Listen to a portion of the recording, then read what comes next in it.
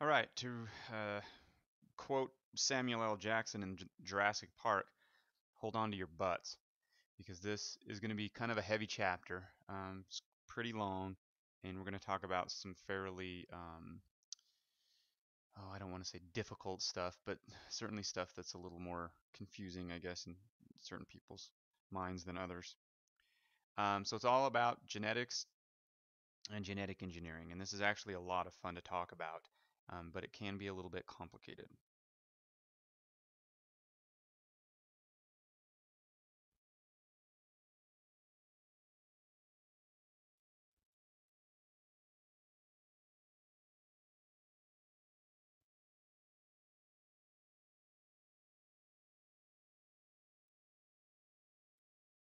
Okay, so this word genetics, we hear about it all the time. But what's the actual definition of it? Well, it's the study of inheritance or heredity. And inheritance and heredity that is is something that's passed down. Like if you inherit money from your, you know, dead grandfather or something like that, it's passed down to you. And so what we pass down are instructions on how to build a person essentially. Or well, that's for humans, I guess, you know, but bacteria or whatever. So the kind of things that we're discussing in here as I said, is the transmission of these instructions or biological properties or traits. That's the term that they use, housed on these things called genes. Um, passed down from a parent to an offspring. And those words, parent and offspring, aren't always accurate terms, especially when we're talking about bacteria and things like that. Um, but you get the idea. Um, it also discusses the expression and variation of those traits, you know, different colors of hair in humans or eyes or whatever. Um, the actual structure and function of the genetic material and how the genetic material changes, which influences the changes in the actual traits. So let's talk about the genetic material. First of all, this word called the genome. The genome is is not a little elf thing in your yard. Um, this is the entire genetic material of an organism. So if you took all your uh, DNA out of a human, that would make up your entire genome. And that's not, uh, let me clarify that. That's not all of your DNA out of every cell. What I mean is, take one cell that has a, a full set of chromosomes in it and you pull all that out, and that would be your genome. So the entire set of instructions.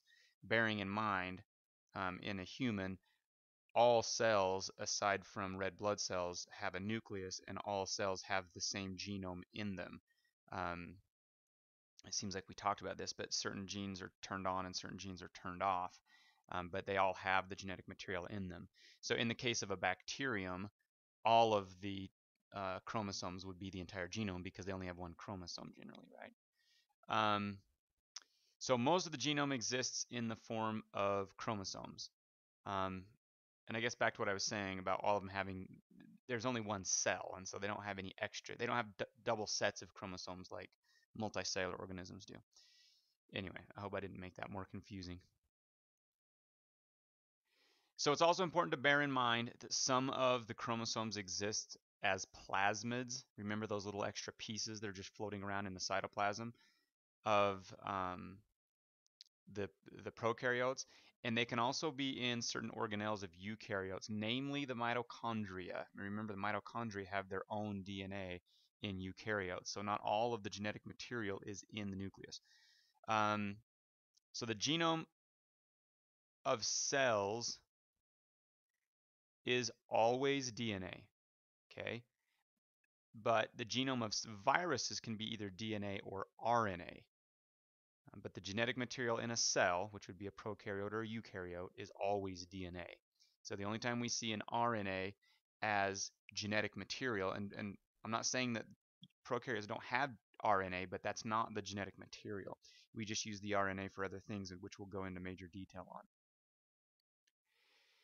So the way we organize this genetic material, and this picture over here on this left side of this chapter that is is a, a, strand of DNA.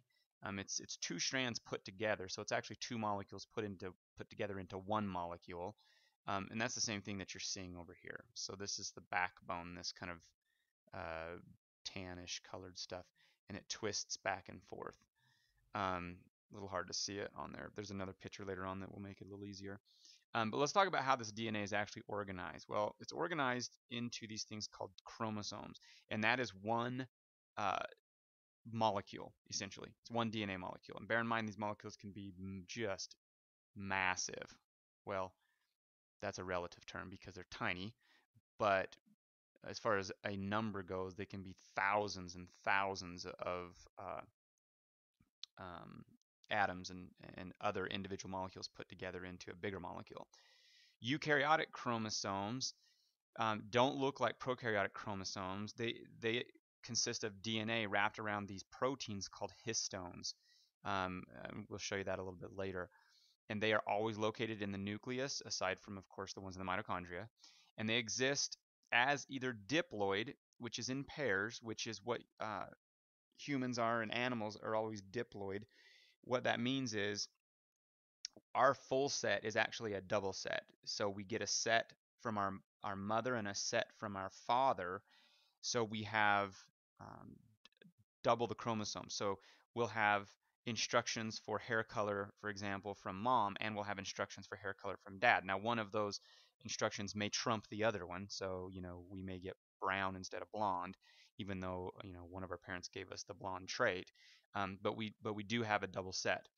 Um, some eukaryotes, though, single single cellular eukaryotes, have only a haploid number because they don't necessarily um, reproduce sexually, where they get um, gametes coming together to form a zygote. Um, they're linear in appearance, meaning they're not in a circle. So they don't well, that's all I got to say about that. They're not in a circle. Prokaryotic chromosomes are a little different. So the, their DNA still condensed into a packet. They still have proteins that they're wrapped around, but they're not actual histones. They're histone-like proteins. Most of them are single, one chromosome, and most of them are circular, and most of them are double-stranded. And so that's generally where we're going to focus our attention on. So a gene, you all hear that. You hear terms like the gene pool and things like that, but what actually is a gene? We all kind of have an idea, but and, and there's actually not an exact agreed upon definition, by the way, to make it a little more difficult for everybody. But here are some of the definitions. Um, in classical genetics, a gene is the instructions for a trait. So a gene would be the instructions for hair color or eye color or height. And bearing in mind, you know, usually these traits that we talk about are uh, the results of multiple genes working together. Uh, in molecular and biochemistry, the definition of a gene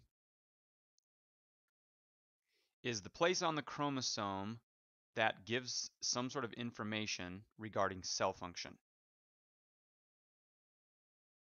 and that could be a trait, um, but it could also be instructions for um, some sort of a protein transcription or, or whatever.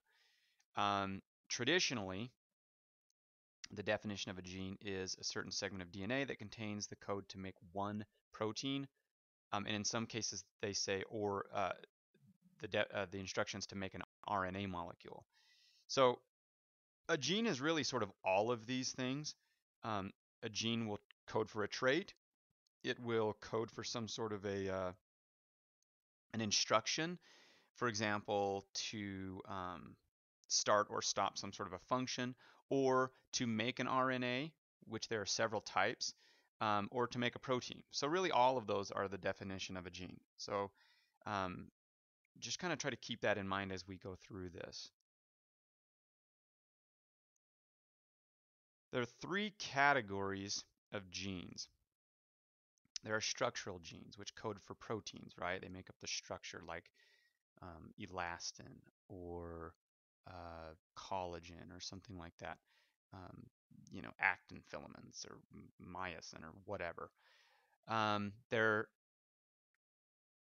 there are genes that code for RNA machinery, um, mRNA, uh, not mRNA, rRNA, uh, tRNA, the things that are used to make the protein, and there are regulatory genes which control the expression of other genes. So the genotype is a word we need to be familiar with.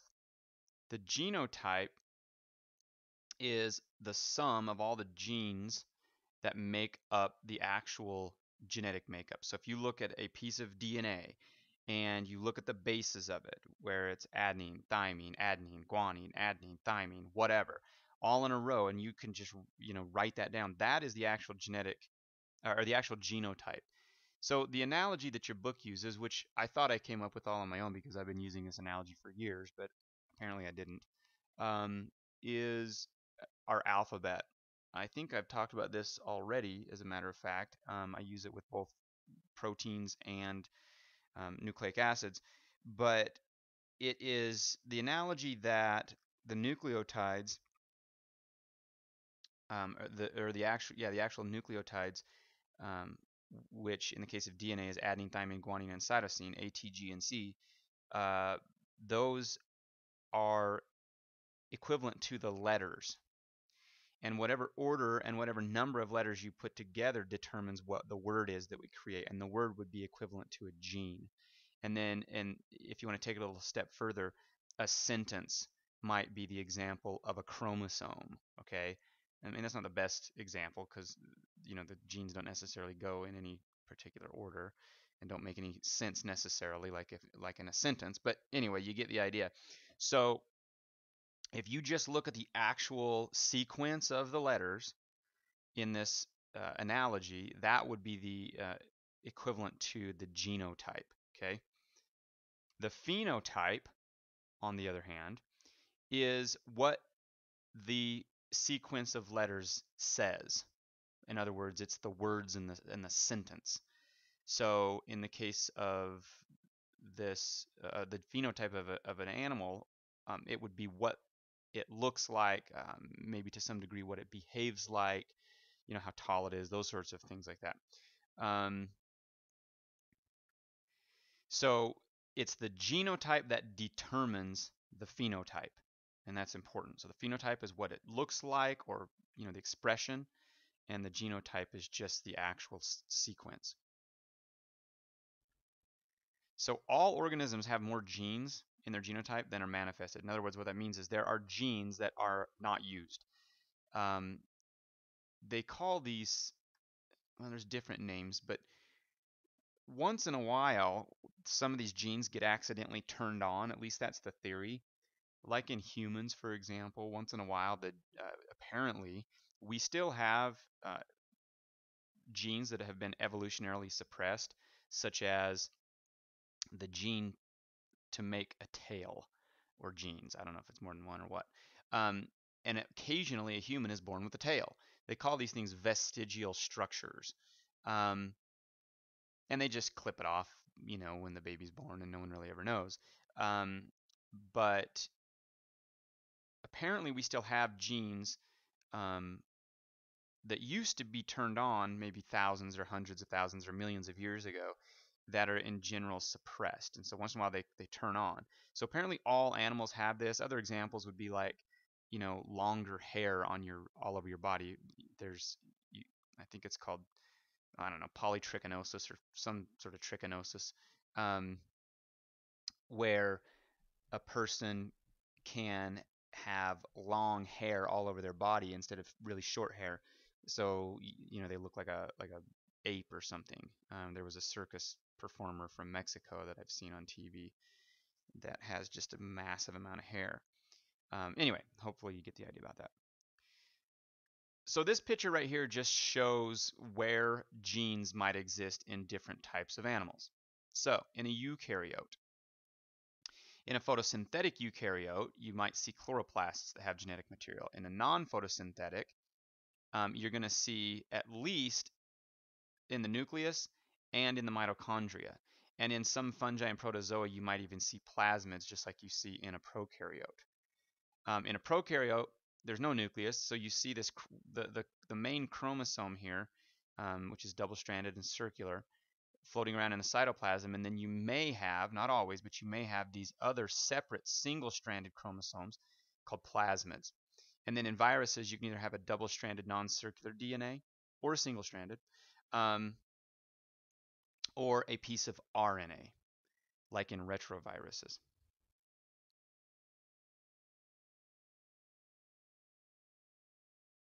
So just to give you kind of an example, an E. coli has one chromosome that has 4,288 genes.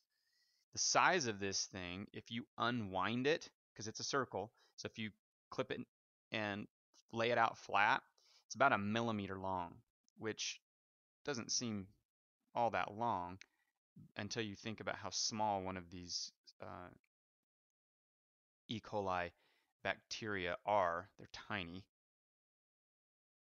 Um, so it's a thousand times longer than the cell. So it's huge um, in relation. So it takes up a third to a half of the volume of the cell. So the whole, so half of the inside of this cell is nothing but this one chromosome. The human genome, we have about 25, some people say up to 35,000 genes. Apparently, we really don't know. And I don't know, maybe there's a different number in different people. I'm not exactly sure. Um, but we have 46 chromosomes. We know that for sure. Um, if you took 46 of these chromosomes out of just one cell, it would be about six feet long laid end to end. And if you took all of the cells and laid them end to end, um, I've heard that it would go to the moon and back nine times, something like that. So it's just, it's these numbers are, you can't even understand them. Well, at least I can't. Maybe you can. Okay, so the DNA code. Let's talk about just how we make up a piece of DNA. So it starts, and remember, a piece of DNA, if you remember from an earlier chapter when we talked about the chemistry stuff, a piece of DNA is a nucleic acid, right? And nucleic acids are made up of nucleotides. So the basic structure of a nucleotide is three different parts. So before I go to the next slide here, let's kind of show what we're looking at here. So this is, these are all different representations of the same thing, okay? So over here's a DNA, here's a DNA right here, here's another DNA, and here's another DNA. They're just all different models um, to, to kind of help explain it. So this shows it in sort of like a ribbon-like structure, and that makes it really easy to see this double helix. You can see how it's two things twisted together. It's a ladder. These are the rungs, and these are the sides, and then they just twist it all up. And this is the same thing here, um, just showing it in a little different model where it makes the atoms look like little um, little balls. They don't look like balls, by the way, um, but that's for a deeper discussion. Um, and this over here is they've taken this thing out. This is, again, a different type of a model where they've unwound this thing and they're using these, um, it's funny because they're actually mixing models up, which is interesting. Um, but they're taking these different, um, or, or they're showing that the, uh, where you see these little pentagonal structures, those are the, deox uh, the deoxyribose sugar. So that's a sugar, and everywhere where you see a corner is a, is a carbon. Um, and I think we'll get to what these things are here um, a little bit later. So anyway, we're going to focus mainly on this, this one here on the left, so I'll zoom in on that. So the three parts are the phosphate group, which is represented by these P's here. So this ball on the end is the phosphate group. And a, and a phosphate, sometimes you're going to hear me just call it a phosphate. Um, and I know that sounds like I'm saying it's a phosphate atom, but it's not. Um, and I don't know why people do it all the time. I do it all the time. I don't know if it's laziness or what, but it's actually a phosphate group, which is a which is actually uh, phosphates with oxygens with a negative charge. So it's more of a polyatomic ion, really. But anyway, so we have phosphate group. We have a deoxyribose sugar, which as I said is these, these yellow pentagons here with the D on the inside of them. And we have some sort of a nitrogenous base, either an A or a T or a G or a C. So you can see all four of those right here. I, I didn't label all of them here, but um, guanine, cytosine, thymine, adenine, and, and I, I know we've talked about this, but remember G and C always bond together, and A and T always bond together. Um, and that's what this is showing here. It's just a zoomed in version of this top um, hydrogen bonding structure here.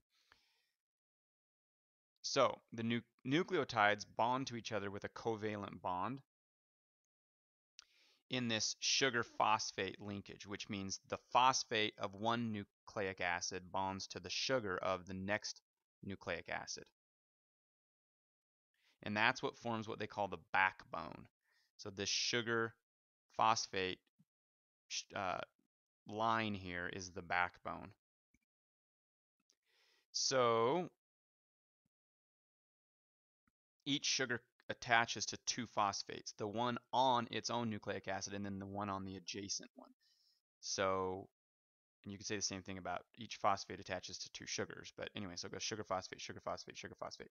Um, and remember, RNA does the same thing. It's just instead of a deoxyribose sugar, we would have a ribo, uh, a ribose sugar. So um, it bonds at the 5 prime carbon of one and the 3 prime carbon on the other end. And those that the those numbers 1 prime, 2 prime, 3 prime, what that is is that's the that's the number of the uh, the carbon. As you go around this molecule, you've got 1 prime, 2 prime, 3 prime, 4 prime, and then 5 prime because it's a pentose sugar, right? So it's only going to go to 5 prime. Um, so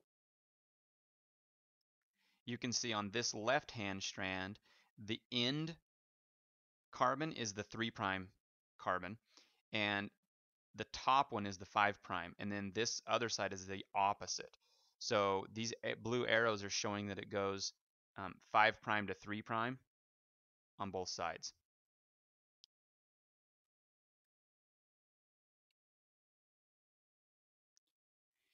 And the nitrogenous bases covalently bond at the 1 prime.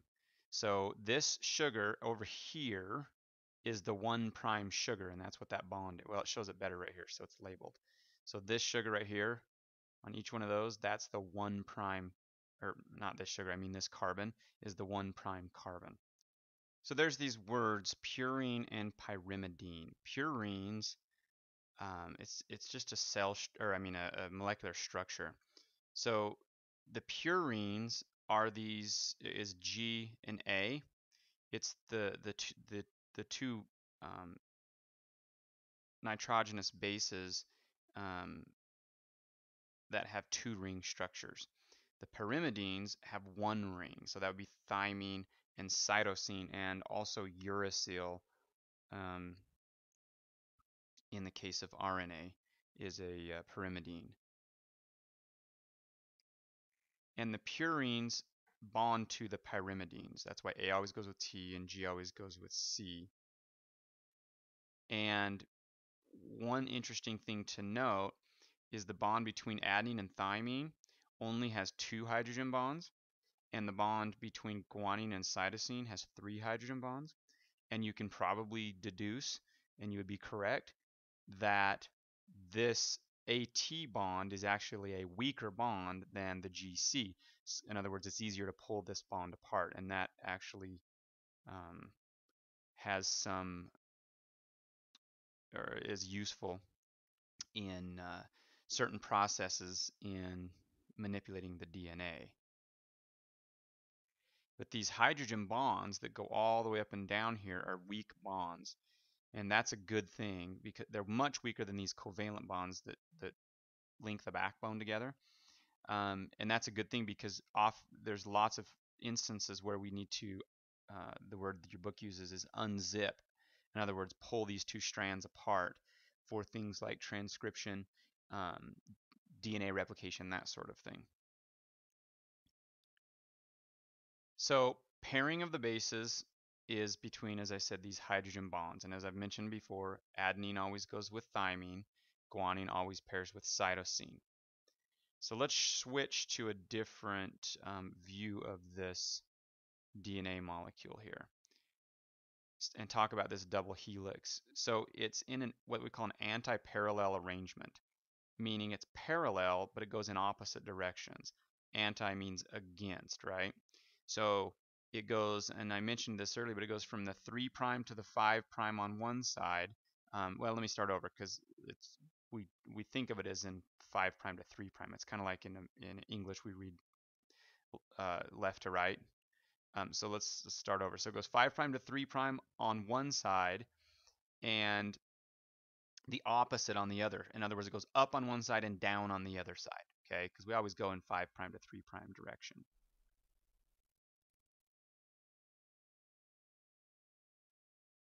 And as I had mentioned earlier, that is because um, of the carbon on the deoxyribose or the ribose. So this is significant because of the direction that the um, enzymes run on the uh, molecule. It's like, you know, a train runs on a track in a certain direction. Well, in this case, they only go in one direction. So that's significant that we know where the 5 prime and the 3 prime end is. Um, and it's also significant that the enzyme knows where the 5 prime and the 3 prime end is because if it ran backwards, we would get a completely different um, outcome in the protein molecule. Um, and that we would still end up with the same sequence. The problem is protein molecules take on these, um, remember, secondary and tertiary and sometimes quaternary structures, and we would get a completely different structure. And if we have a different structure, we end up with a different function, right?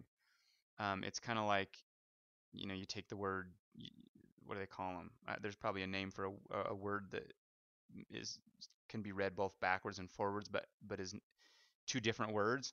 Um, like the word devil, you know, if you read it backwards, is lived. Um, you don't end up with the same thing, as my point, right?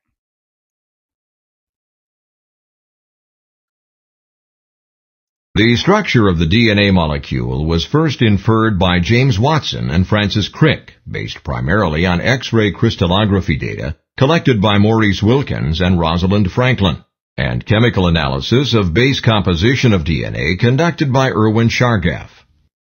The key features of the structure are its right-handed double helical structure. Each helix consists of an alternating sugar phosphate backbone with nitrogen bases projecting toward the interior of each helix. One complete 360 degree turn of the helix covers 10 bases of length and equals 3.4 nanometers in physical distance along the axis of the molecule. The width of the double helix is 2 nanometers. The nucleotide bases are attached inside each backbone of the molecule so that the nucleotides in one helix or strand are hydrogen bonded to the bases in the other helix or strand.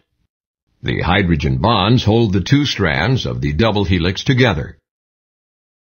An adenine in one strand is always paired with a thymine in the other strand, and a guanine in one strand is always paired with a cytosine in the other strand. Note that guanine-cytosine base pairs form three hydrogen bonds, while adenine-thymine base pairs form two hydrogen bonds. This makes guanine-cytosine base pairs more stable than adenine-thymine base pairs. Nucleotide pairing between strands also allows the sequence in one strand to determine the sequence in the complementary strand. The two ends of a strand are not identical.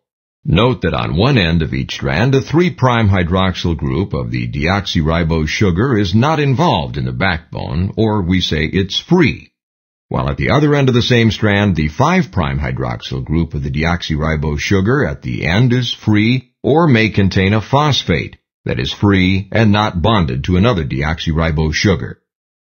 This dissimilarity of the two ends of a strand creates the ability to uniquely distinguish each end of the strand. Because of this polarity of each strand, we can see that the two strands of DNA are oriented in opposite directions, or we say that they are antiparallel. In three-dimensional space, the two helices are not equally spaced along the axis of the molecule such that a major groove and a minor groove are created by the asymmetric spacing of the antiparallel helix backbones. The major groove and minor groove play important roles in the binding of proteins that regulate gene transcription. So there are basically an unlimited number of traits that you can make with the DNA molecule, and you may be asking yourself, well, how could you, with only four, you know, using our analogy of the alphabet, right? There's only four letters in this alphabet, A, T, G, and C. So how in the heck can you take only four letters and make anything you want? Well, it's because, I mean, if you think of, of just our alphabet, we have 26 letters, and how many words can we make out of those 26 letters? And the answer is there's an infinite number of words we can make because we just keep rearranging the um, letters into different uh, orders, and we can make the length of the word any length we want. Well, the same is true with DNA. So there's really not a limit, as far as I know. Um, aside from, you know, I guess if you had such a big molecule or molecule that didn't fit in the cell, but of course then you just make a bigger cell.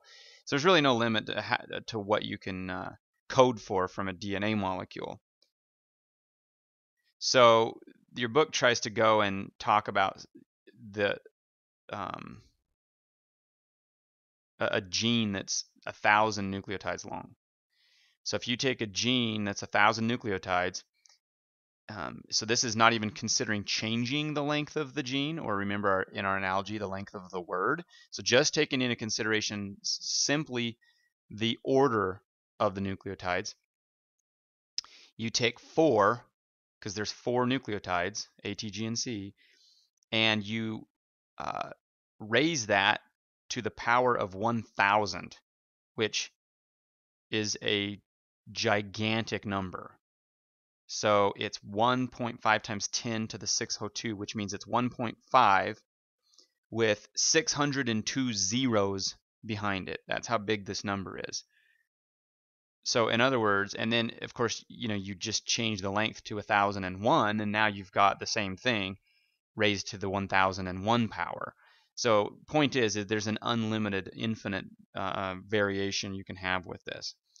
Well, let's talk about DNA replication.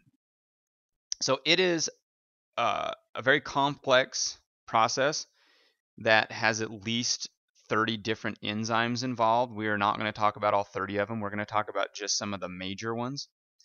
But here's the basics of what they do. They have to separate the strands because they're in a double helix. They have to then copy each strand. And from that copy, they produce what they call daughter cells, or daughter molecules excuse me, um, which are the complementary molecule to the original. So each daughter molecule is identical to the parent, or at least the opposite parent, meaning when we make a daughter molecule off of, say, the left side, it is going to be identical to the original molecule on the right side. So it's the mirror image of the left side, so to speak, right? And this they call this being semi-conservative in the the case of prokaryotes. I'm going to show you a picture of this here in just on the next slide, I think. Um, meaning the parent molecules are left unchanged. Okay, they stay intact, but we add them to a daughter molecule. And so when we split the cell up in the new cell, half of the molecule of the DNA was from the original cell and half of it is a new molecule. And there is a slide coming up, actually several slides from now, but this video will explain it too. The genetic information in a bacterial cell is stored in the form of a double-stranded, covalently closed circle of DNA. Replication begins at a specific site called the origin. The origin replicates and then DNA replication proceeds in two directions. The two original strands, shown as solid lines, serve as the templates for synthesis of new strands, shown as dotted lines. This is referred to as semi-conservative replication. DNA replication begins when helicase unwinds a segment of the DNA and breaks the hydrogen bonds between the two complementary strands of DNA. DNA polymerase can only add new nucleotides to a free 3' end of a growing chain. Synthesis of one strand of the DNA, called the leading strand, proceeds continuously in the 5' to 3' direction. Synthesis of the complementary strand, called the lagging strand, is more complex. DNA polymerase can add new deoxyribonucleotides only to a free 3' OH. To provide a free 3' OH starting point on the lagging strand, RNA primase attaches to the DNA and synthesizes a short RNA primer. DNA polymerase III then adds deoxyribonucleotides to the 3' end of the RNA primer. DNA polymerase I replaces DNA polymerase III, removes the RNA, and replaces it with DNA. Finally, the enzyme DNA ligase forms a phosphodiester bond between the 3' OH of the growing strand and the 5' phosphate in front of it. During DNA replication, the leading strand is synthesized continuously, while the lagging strand is synthesized discontinuously.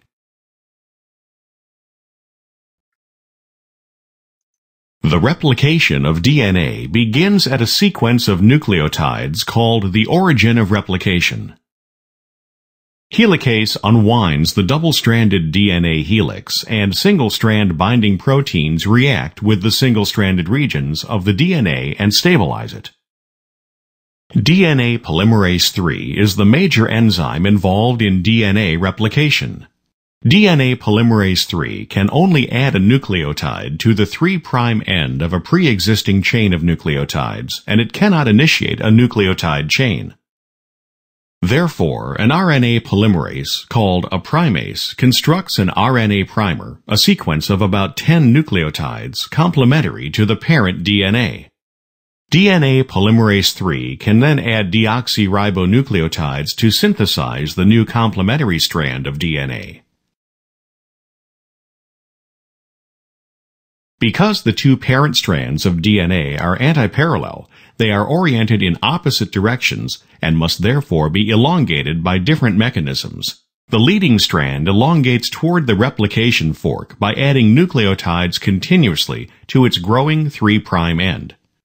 In contrast, the lagging strand, which elongates away from the replication fork, is synthesized discontinuously as a series of short segments called Okazaki fragments.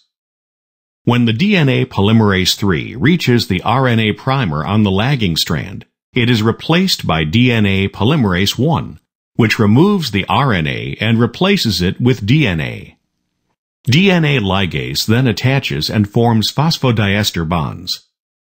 The DNA is further unwound, new primers are made, and DNA polymerase III jumps ahead to begin synthesizing another Okazaki fragment.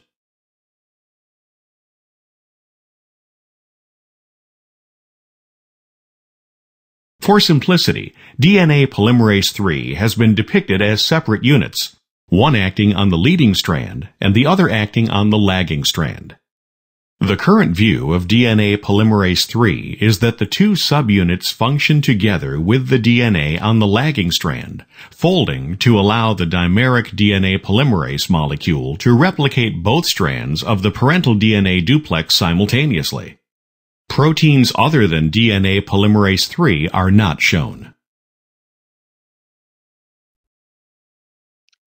Okay, so that was a lot of, there's a little bit of repetition there, but and that's fine, because and I'm going to repeat it again. We're going to actually go through all that um, using the figure in your book. Um, hopefully that's starting to make a little bit of sense, and feel free to go back and look at these videos again. There, I think you can get to them from the uh, publisher's website. Um, but you can see it's complicated and there's a lot more going on than what this is showing. Um, but this is the major basic part of it and really all that is necessary for what we're doing in this class. So we are actually going to use this uh, figure right here, this table I guess, uh, in your book to discuss this in uh, hopefully a little bit more detail. Um, And hopefully it'll make sense when we're all finished here.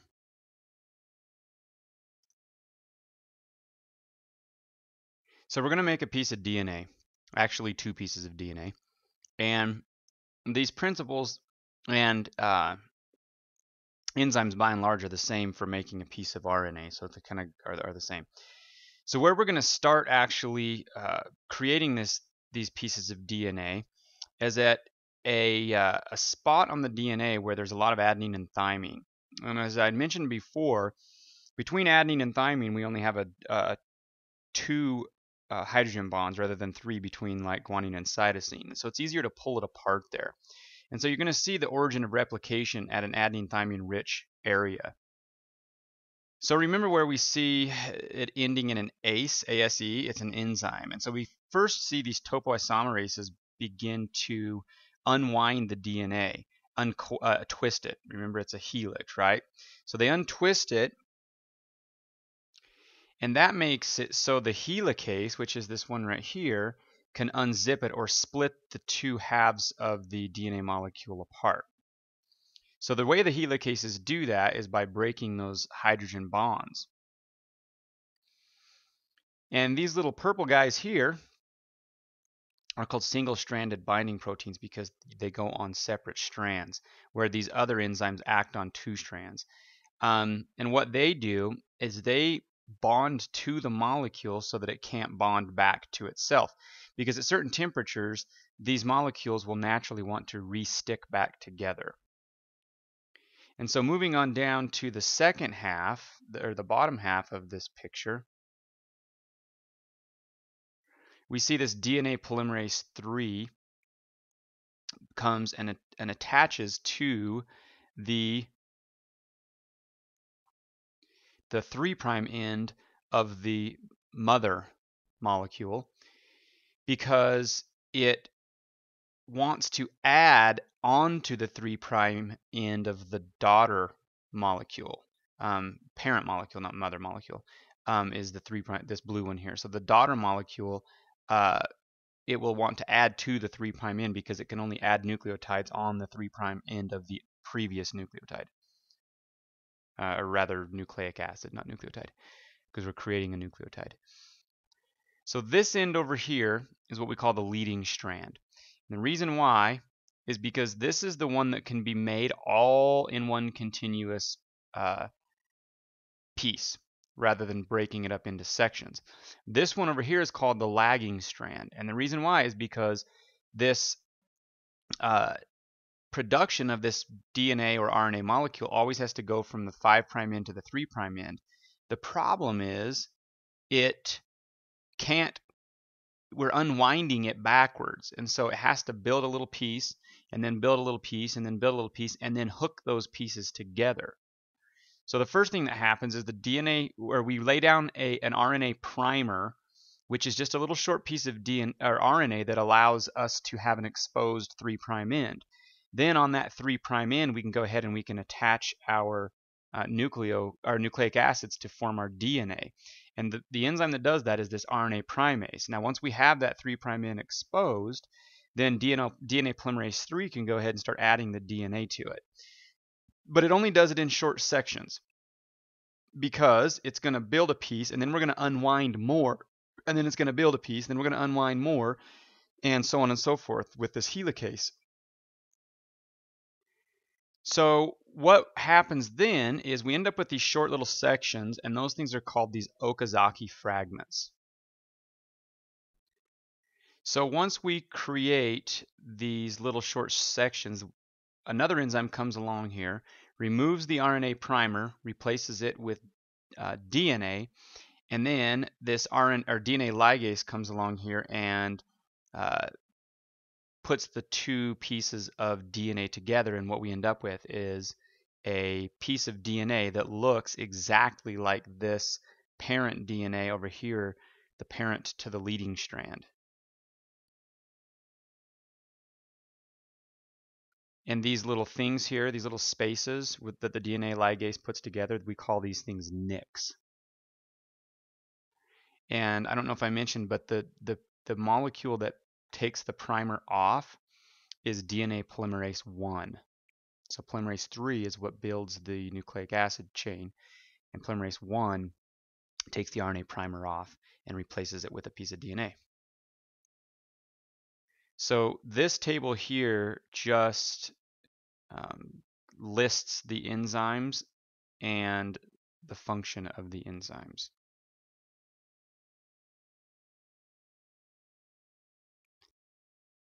Um, this isn't what this slide is about, but remember how I, I had uh, mentioned earlier, a few slides back, that this was a semi-conservative uh, model. And this shows this, basically. So what we end up with is, um, I guess it's not as great as what I thought it was. Um, what we end up with is one of these strands here is the original that was started out over here and one of these is the other side of that same original. So there's original and a new one on this one, and an original and a new one on this daughter molecule. So these will both end up being two complete uh, daughter cells as well. So some bacteria can put these nucleotides together at a rate of 750 bases a second, which is just mind-boggling. So that whole process that I talked about on the uh, two slides ago, putting those nucleotides together, 750 of those are placed in that chain every single second. So that's an, just an amazing thing. Um, and I had mentioned this, the DNA polymerase 1 is what removes the RNA primers and then replaces the DNA, and then the ligases come along and, and uh, fix the nicks. So occasionally, we do get mistakes in the DNA. Um, estimates are they vary. Sometimes some people will say 10 to the fifth um, to 10 to the tenth. This particular slide says anywhere from 10 to the eighth to uh, 10 to the ninth bases, and I guess some of that's mutation. So so let me take that back. The 10 to the fifth to the 10 to the tenth is is the number for the estimate of mutations. So this is the estimate of mistakes during replication.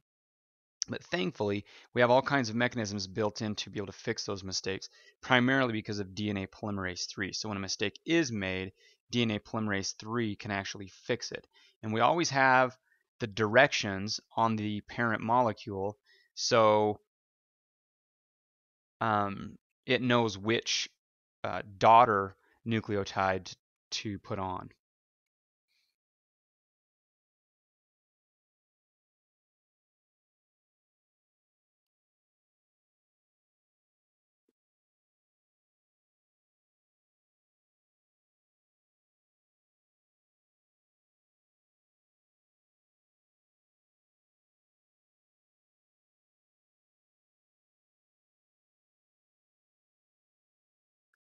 So there are these two words we use all the time, transcription and translation. It says that it's the central theme of biology. Um, and, and the basics of how this flows as far as the information goes is from the DNA to the RNA, and that forms a protein. So transcription is how we make RNA from DNA, and there's all kinds of different um, types of RNA molecules that we'll discuss. Translation is where we take one of those types of RNA and we use the information on it to make a protein. So let's just kind of talk about those two words for just a second because we use those words all the time. Well, not all the time. We use those words uh, in reference to things other than protein synthesis, certainly. Um, so transcription is essentially taking um, one form of a language and putting it in another form of the same language. For example, you could take a handwritten document and type it up. You transcribe it into a typed document. So you're really not changing anything per, per se. It's essentially the same thing. You're just going from handwriting to typed, um, or from a tape recorder to typed, whatever. Um, but you're essentially the, the point I'm trying to make here is you're you're going from English to English. Okay. Translation on the other hand, is where you go from one language to another language. So you could go, for example, from English to Chinese, and that is just an absolutely massive change, okay? Um, and these words when we use them in reference to protein synthesis, are very similar to that because transcription is going from DNA to RNA, and those are essentially the same language. I mean, the only difference is a uracil instead of a, instead of a thymine, right? Um, but when we go from an RNA to a protein, they're completely different. And that's transcription. So we're going from using nucleic acids to make a nucleotide to using amino acids to make a protein. And there are few similarities between a um, nucleotide and a protein. And so that's so these words actually do make a lot of sense. So this DNA, RNA, protein uh, is generally how it works, but there are some exceptions. Example is there, remember RNA viruses have to either convert RNA to other RNA to replicate themselves, or in the case of retroviruses, they go back, or they actually go backwards, yeah, and, and create a DNA from their RNA. And a lot of these RNAs are used to regulate gene function rather than being turned into a protein. Um, so it doesn't always go from DNA to RNA to protein. Sometimes it goes from DNA to RNA, and then that's where it stops. But this shows kind of a basically what the previous slide said. So we start out with DNA. We transcribe it into, this is three of the types of RNA, but there are more. Um, in fact, here they are over here, all of these regulatory RNAs. So these are the structural RNAs, right? Eh, so it's going to either end up as a structural RNA or a regulatory RNA over here. Um, either way, we're going to use all of these in, in some way to undergo translation, which is where we turn um, the information in the RNA into a piece of protein.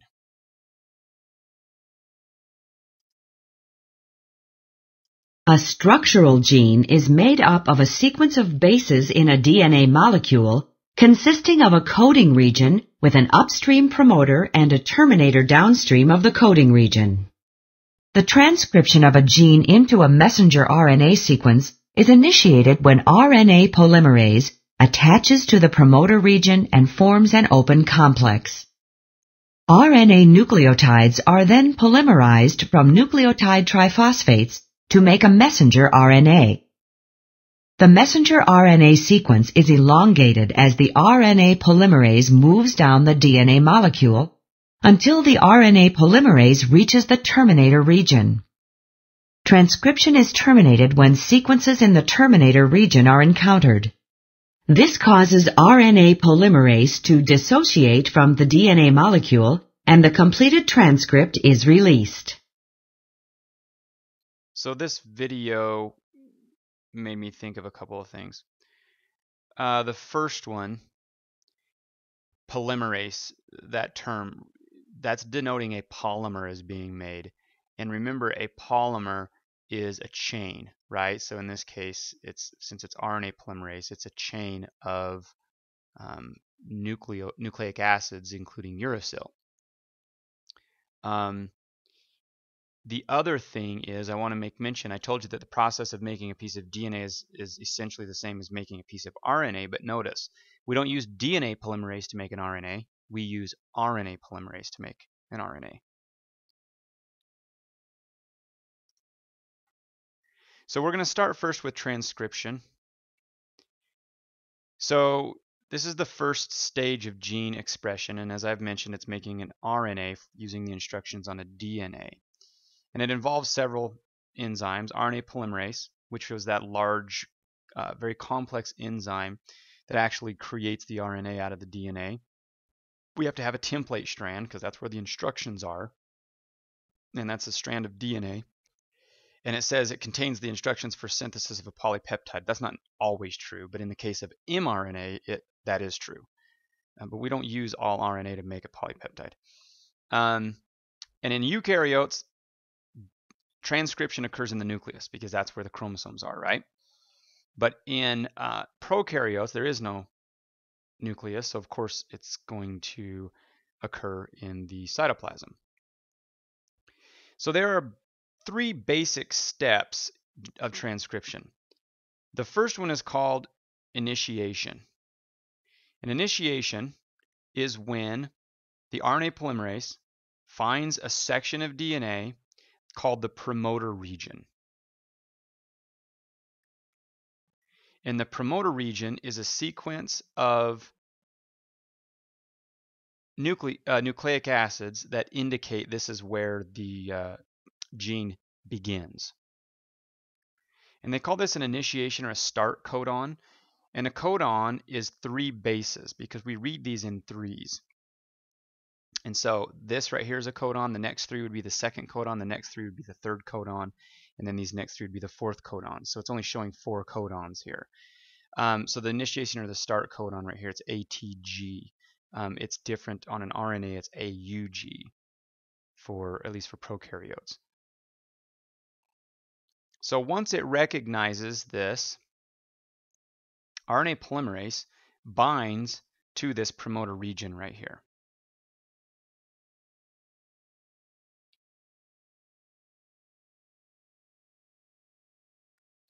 And as I said, this is the signal where it begins. And one thing that these all have in common is this adenine thymine rich area because just like with uh, DNA replication, with RNA synthesis, it's easier to break those adenines and thymines apart because of the hydrogen bonding. Okay, so the initiation codon, as I said, is where the RNA polymerase begins its transcription. So as it unwinds, this process called DNA scrunching occurs, which is where the RNA polymerase enzyme pulls the DNA essentially inside of the uh, DNA, or RNA polymerase molecule. And somehow it's able to gain energy from this scrunching process. And that's a lot of the energy that it uses to actually uh, perform functions. And so, of course, it will then continue down the DNA molecule using the information on that to create an RNA molecule. And so only one strand is copied, and that's the template strand, right? So when we were doing DNA replication, both strands were being copied. So the coding strand is going to be essentially the same as the RNA we're going to make, besides the U. Um, and the template strand is what we use for the instructions. So once we initiate transcription, we then of course have to continue it. And that continuation is called elongation. And just like DNA, it goes from the 5' to the 3' direction of the new RNA molecule. So it's going from 3' to 5' on the template DNA, but 5' to 3' on the piece of RNA that we're constructing. Now, this piece of RNA right here happens to be mRNA, but all RNA is going to be made this same way.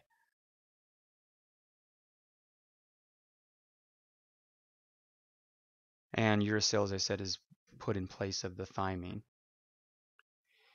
And so as this continues on down this DNA molecule, once it's finished using the DNA for the instructions, it actually rewinds back up again. So once we've made our piece of RNA, we have to end the process. Once we basically hit the end of the gene.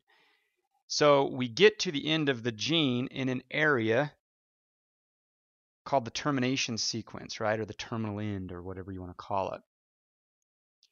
And once we get there, the mRNA strand pulls off. And, and the mRNA is also called the transcript because that's what's actually being transcripted, right? And that's basically transcription in a nutshell. So we've made a piece of RNA, and I want to mention, I'm sure we'll say it again, but all RNA is made this way, whether it's tRNA, mRNA, or any of those other types of RNA. So the smallest RNA could be as small as 100 bases. An average mRNA is something like 1,200 bases, but they can be as many as uh, 12-ish thousand bases, something like that. No, that'd be 12,000 codons. So it'd be more like 36,000 bases is what it would be. So big variation. So this look might look familiar to you because we showed it earlier, but I want to make you aware of one thing here. Before we were showing a piece of DNA, right? And over here on this side, we had D's. Well, notice now we have R's. And instead of having T's over here, we have U's. So what this is is a piece of RNA attached to a piece of DNA that's complementary to it. So everywhere where you see a, an A, we would have seen a T on the DNA, but we see a U. So we've got deoxyribose sugar on this side and ribose sugar on this side. So this side over here is the RNA. So RNA stands for ribonucleic acid. And let's talk about, we've already talked about this, but there are a lot of differences. It's single-stranded instead of double-stranded. It does exist as a helix, but it's a single-stranded helix. It can bend up and twist up into secondary, tertiary uh, levels uh, and even quaternary levels, just like a protein can. And that's how we end up with these other forms of RNA, like tRNA and rRNA, and I'll show you the structures of those a little bit later. And again, mentioning this for the fourth or fifth time, it's got a uracil instead of a thymine, and a ribose instead of a deoxyribose. So there's two categories of RNA. Those that are involved in protein synthesis, and there's three types, messenger RNA or mRNA, transfer RNA or tRNA, and ribosomal RNA or rRNA. And when we go through transcription, uh, or excuse me, translation, we will, I'll show you how all those work. And then the other category is those that we use for something besides protein synthesis, such as regulatory RNAs. And types of those would be microRNAs, antisense RNAs, riboswitches, and small interfering RNAs. And what these things do is regulate the gene expression in both prokaryotes and eukaryotes, and they help coil the chromatin and in eukaryotes as well. So this, start, we're going to start with ribosomal RNA, and this is actually a representation of a ribosome. This down here is the small subunit. This up here is the large subunit. So as I said, also known as rRNA.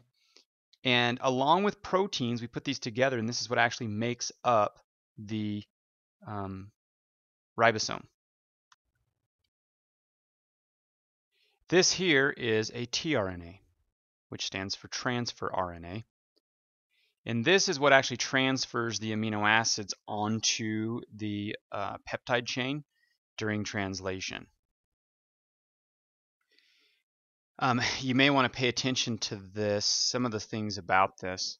Um, this area here is the anticodon. This area here is where the amino acid actually attaches. So these things are between 75 and 95 nucleotides. And they have what's called a clover leaf appearance, meaning they look like a clover that you would pick out of your lawn. And the reason why they're shaped like this is because it actually bonds with itself and forms hydrogen bonds, just like a DNA will form hydrogen bonds. Difference is DNA forms hydrogen bonds with a separate piece of DNA, where this tRNA forms hydrogen bonds with itself. But notice the complementary bases. So A goes to C, U goes to A, U goes to A, C goes to G. Um, yeah, that doesn't make any sense. So scratch the A goes to C because that there's a mistake there. This should be um, A goes to U or C goes to G or something like that. Um, so that's just a little mistake in your book. Um, but anyway, you get the idea. Um, so when it bends upon itself, then you end up with these loops that, that are not bonded, and these we call uh, hairpin loops. And so that's how we end up with this clover leaf structure. And this is, is kind of a little better representation of what this thing looks like. So uh, we'll mention this later, but this anticodon region right here is what actually attaches to the codon on the RNA. So you can see it's three bases. one, two, three. So the active site, as I said, is what binds the amino acid. So each of these tRNAs is going to have an amino acid stuck to it, like a valine or a tryptophan or a tyrosine or something like that. Um, and I mentioned the, I'm getting ahead of myself, so I'm sorry. Um, I don't always know what's coming up. Uh, so I don't know if it's actually on here or not. But anyway, the anticodon is what I said matches up with the codon on the mRNA. Now this is a piece of mRNA, and this is pretty simple. It's messenger RNA because it brings the message from the DNA to the ribosome. And this is just a line of RNA. It doesn't fold upon itself or anything like that. It's just a, a, a linear piece of um, RNA. So here is a ribosome. So it's made of rRNA and protein mixed together. Now the ribosome itself is the gray part and this blue part. Okay, these are proteins, um, which I think this picture is trying to show that these proteins are hooked to the ribosome, probably. Um, and then these are the tRNAs, and this yellow piece down here is the mRNA. So it's made of two subunits, the large subunit, which is the gray one, and this is what supplies the enzymes for actually making the peptide bond. So this is what puts the two amino acids together.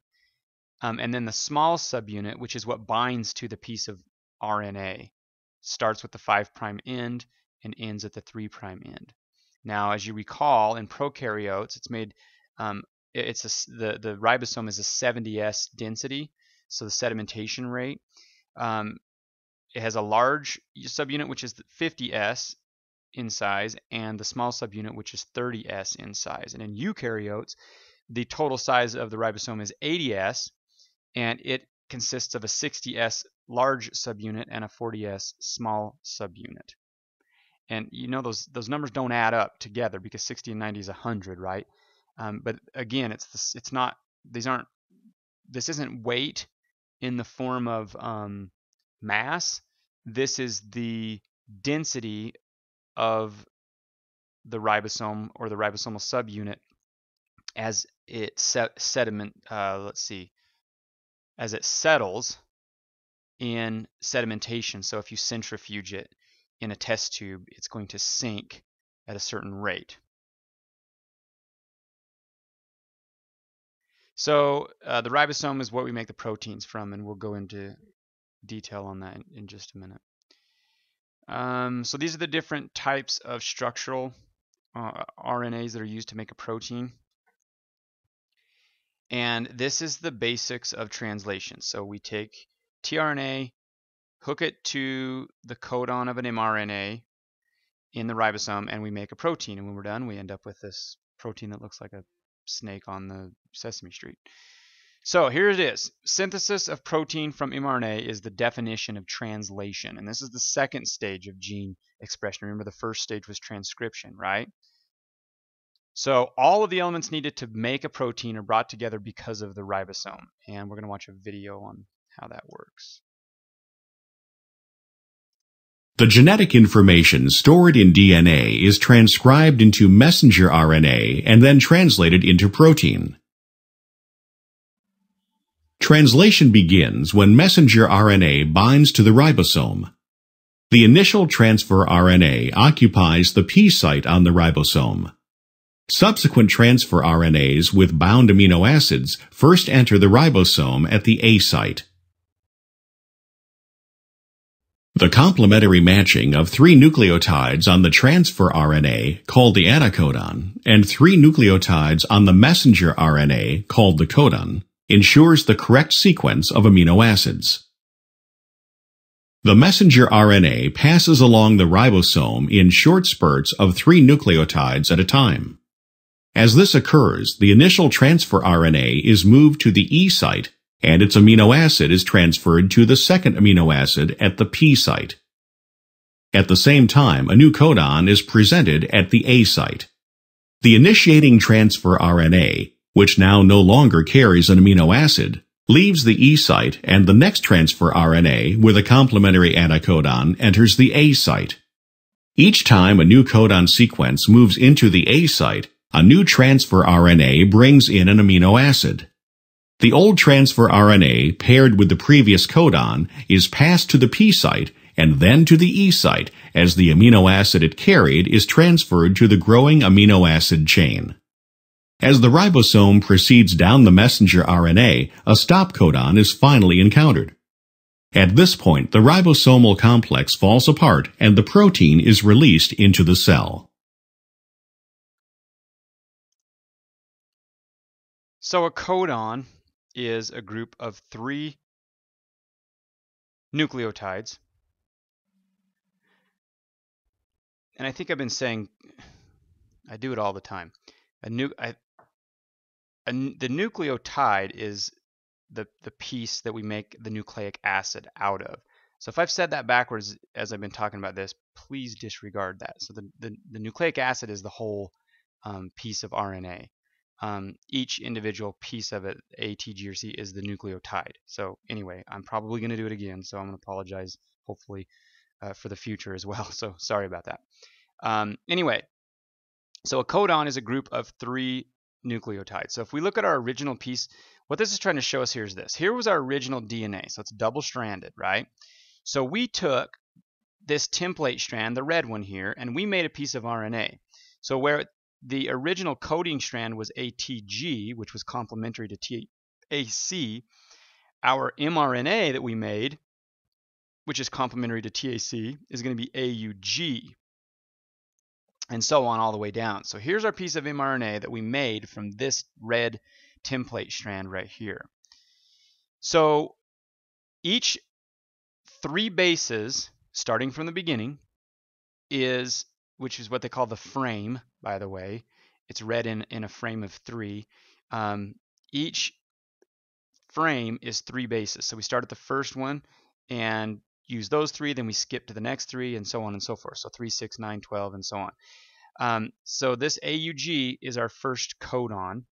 And so what would be complementary to it would be a UAC as far as RNA goes. And so what we're talking about is tRNA, right? So this thing right here is called the anticodon because it goes against the codon. That's what anti means. And attached to this anticodon, in the case of um, a prokaryote, is going to be this what's called formyl methionine, which is an amino acid with a formyl group on it. Um, and this is just because this is the start one. It's it's actually different in eukaryotes, but it's really not all that important.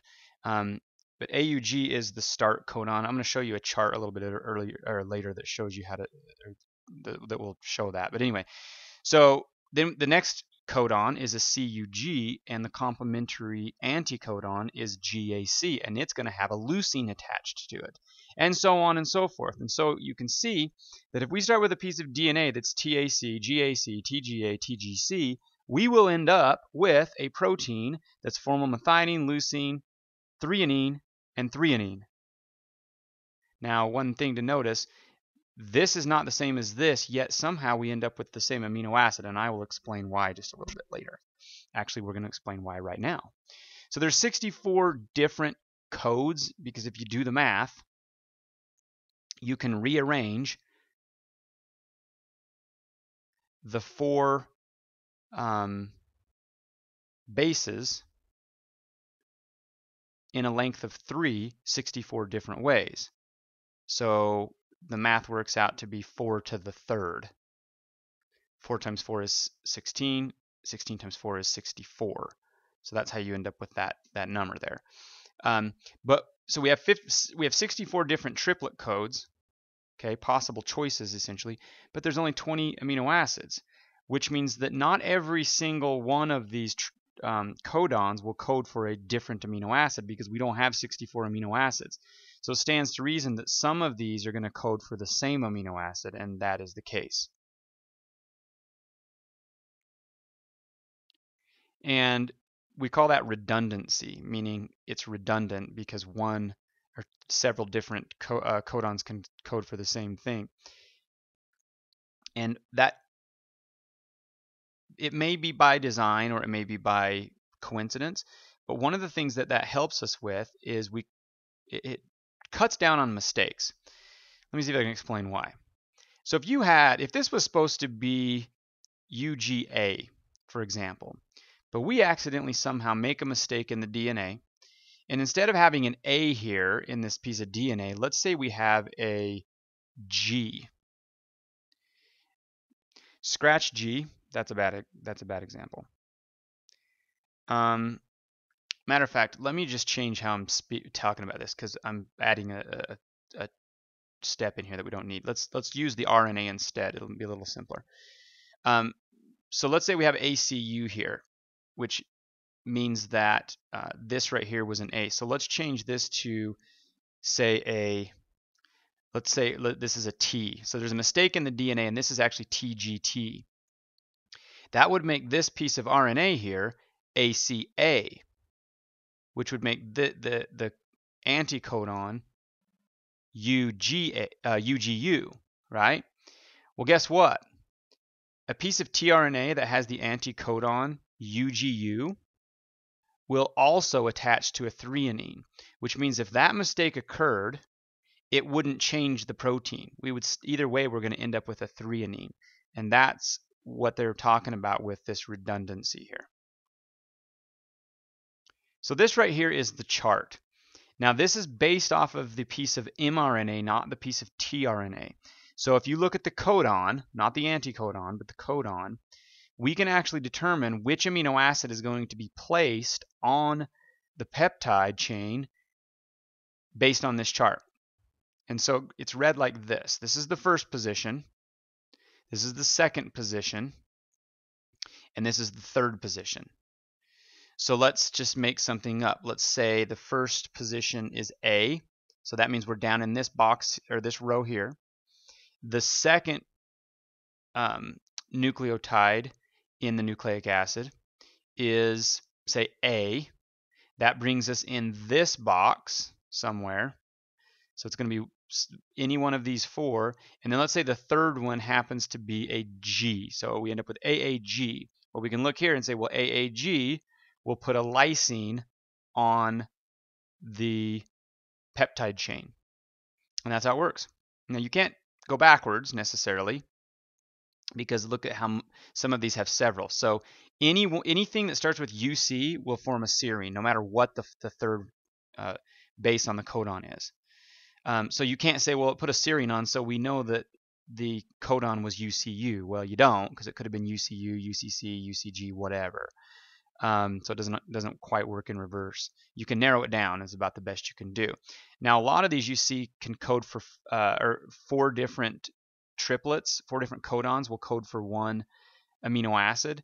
Some of them, as you see, will code for two, and some of them will code for uh, I said that backwards. Some of some of the amino acids are coded by two, is what I meant to say, um, and some of these are coded by six. Um, example, serine right here. Any one of these will code for serine, but so will these two over here. Uh, another example is right here. Leucine is coded by six different codons. So bringing it back full circle here, um, this is how we can find what codes for this. So we look at AUG. So A, U, so we're in this box here, and then I covered it up, but G would end up showing us that we would end up putting a formyl methionine on here, which is because this is a start codon where the translation begins. And that's why there's a formyl methionine right there.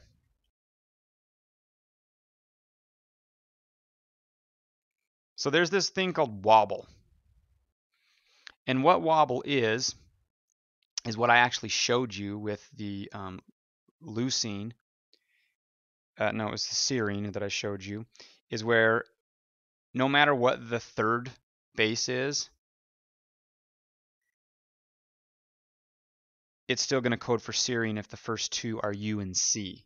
So it just doesn't matter. If it's UC anything, it's going to code for serine, and that's what's called wobble. And so permits some variation or mutation without actually changing the protein that's made. And so that's sort of, like I said, either coincidence or by design, but it's a mechanism that prevents some more serious uh, mutations from occurring that might be detrimental.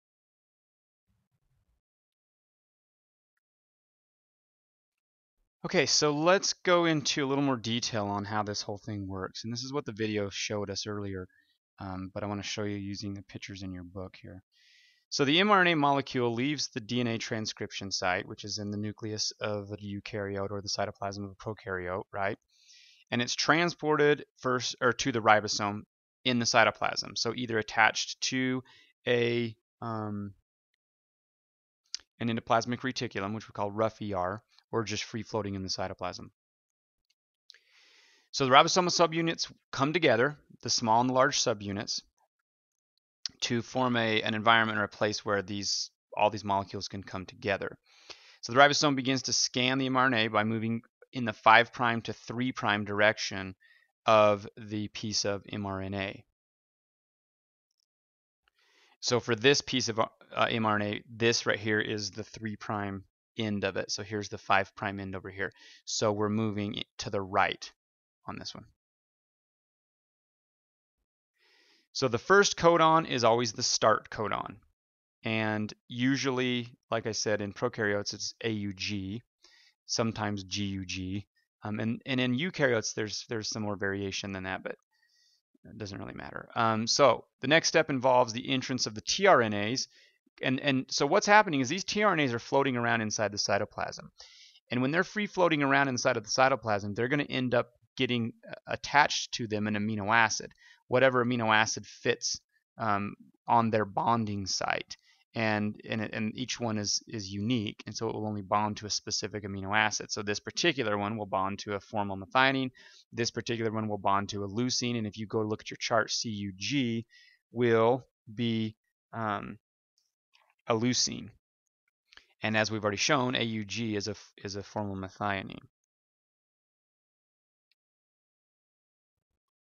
So when the amino acid is attached to the tRNA, it's called being charged. So these charged tRNAs will enter and attach to the um, codon of the mRNA. So at the beginning, the start codon attaches to what's called the P site, which is this sort of middle site right here and the next one will attach to what's called the A site. Now there's an E site right here, and what that is for is once this uh, tRNA has placed its amino acid onto the chain, it moves to the E site when it's empty, and then that ejects it off of the ribosome.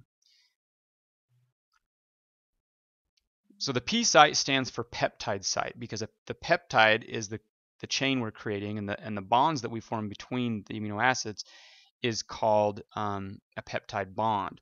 The A site stands for amino acyl site, amino acyl site, or the amino acid site, because this is where the amino acid is is the, the single amino acid is. And then we create a peptide. So the, the tRNA that's hooked to this site has a peptide on it the tRNA that's hooked to this site has an amino acid on it. And the E site stands for exit site. Okay, so moving on to step two. As I mentioned, we have to have a complementary anticodon, right? And it first goes to the P site. And this one's going to be attached to this formyl methionine. And, and what the formyl group does that's attached to the methionine because methionine is an amino acid, but the formyl methionine tells us that the, this first amino acid is actually not part of the peptide, and so at the end of this, there there will be some processes that sort of uh, kind of finish up the the the, the protein, um, and that'll actually be clipped off at the end.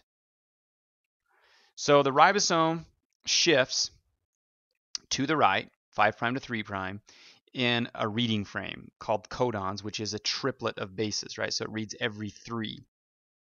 And that and we'll talk about mistakes at the end of this chapter, and one of the mistakes is a mistake in the reading frame, and it has major consequences. So try to keep that in mind. So it'll move three bases over, and that will bring the next codon into place, and then um, expose the A site again, where we can bring a new uh, amino acid.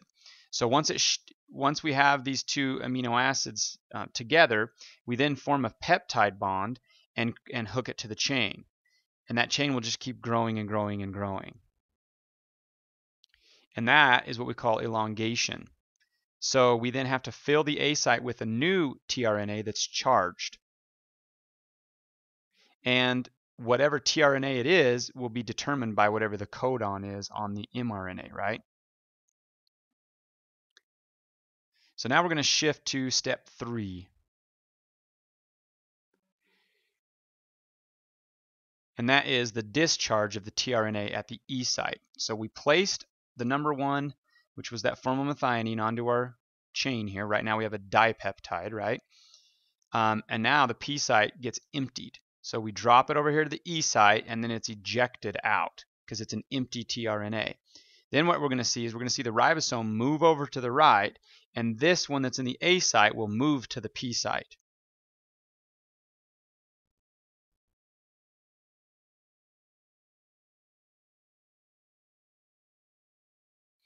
And this movement of the of the ribosome is called translocation.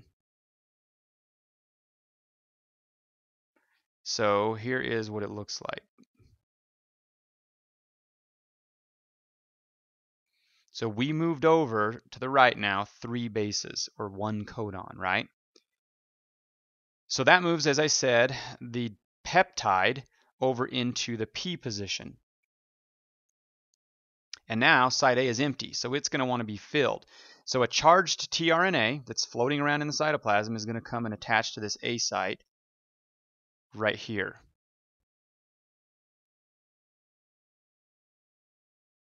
So this is tRNA number three, right? Because tRNA number one is gone now. So we then form another peptide, and now we have a tripeptide, and it's going to just keep on going.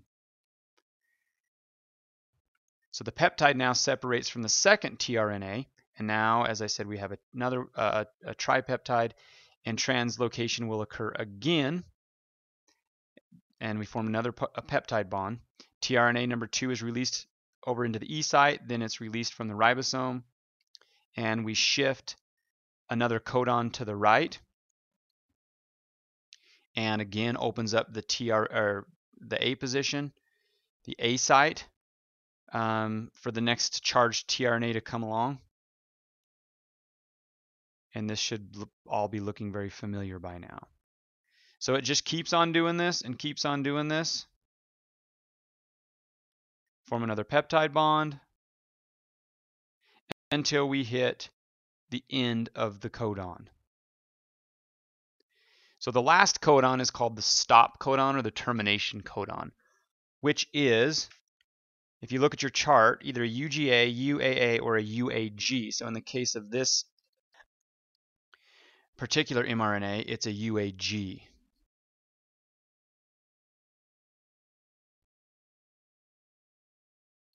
So these are sometimes called nonsense codons because they don't code for amino acid, but there's probably not a really good name because they're not nonsense codons. They're, they're they're instructions that tell it that they've that it's reached the end of the um, amino acid.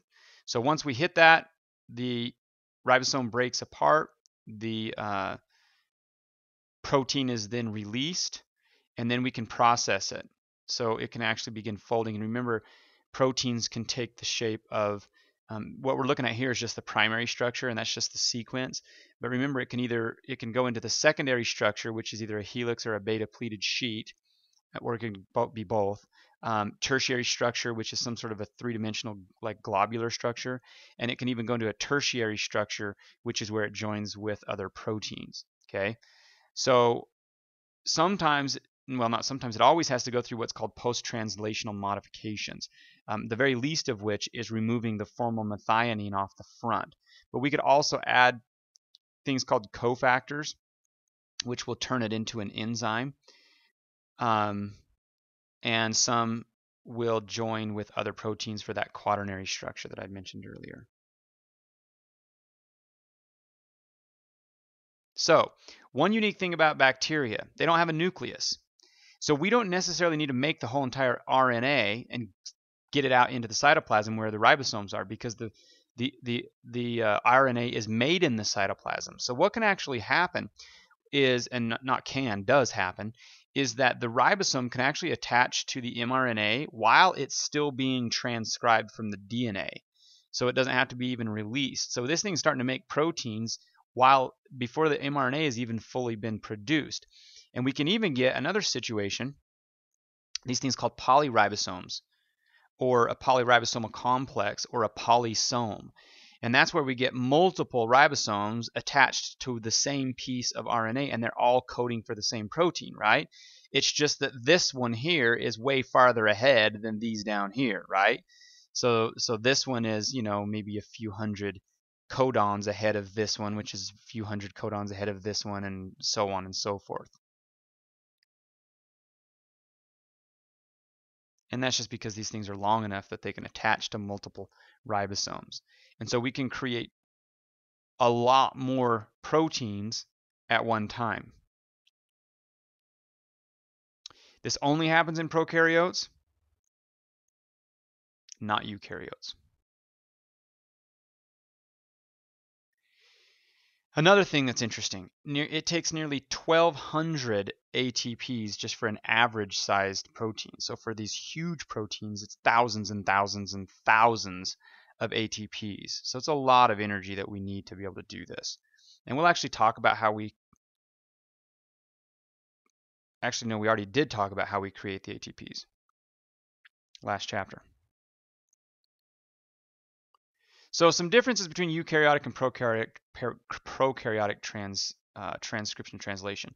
So as I said, AUG is um, the start codon for both, but there's a different form of methionine besides formyl methionine in eukaryotes.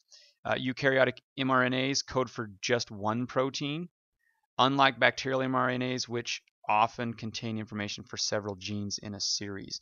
Um, and that has to do with where it actually starts. Um, we won't get into anything quite that complicated in this class. Um, again, in eukaryotes, transcription is in the nucleus, and it has to leave the nucleus before translation can occur, but in eukaryotes it doesn't. Um, eukaryotic genes don't exist as an uninterrupted series of triplets. There's actually, it's actually, they're actually separated. Okay, the, the coding portions of the eukaryotic RNA, mRNA, are separated from each other. And so we have to do some processing before we can actually um, undergo translation. So what they're separated by are these things called introns. Introns because they're in between, I guess. Um, these names don't make a ton of sense to me, but um, so we have to remove the introns before we can undergo translation. The coding regions are called exons. It's the exons that we're going to use to actually code and create the, the protein. So that's what this is showing right here. So to process a piece of mRNA, we first of all transcribe the whole entire mRNA molecule. Now, some of this is going to be removed, okay? So this is the whole molecule with introns and exon, exons still in it. So this is called pre-mRNA. So the first thing that happens is we add some adenosines to the mRNA, and that's somehow to protect it and get it out of the nucleus for translation. Um, along then comes this enzyme called a spliceosome. So it's a type of an it's an RNA and a protein, kind of like a ribosome. Um, it is able to recognize where the introns and the exon, uh, exons come together, and it cuts them. So it's a splicer enzyme. So what it does is it forms this loop up here that they say is a lariat. A lariat's a, a rope that like you know a cowboy uses. Um, so it makes a loop out of this in, intron, cuts it away, and then joins the two exons together, and then this intron is now separated from the original pre-mRNA. And I don't know what happens to those. I assume that it, they're recycled somehow. So at this point, it's no longer called a pre-mRNA it's now a finished mRNA and we can now attach it to a ribosome and create whatever protein we need to create.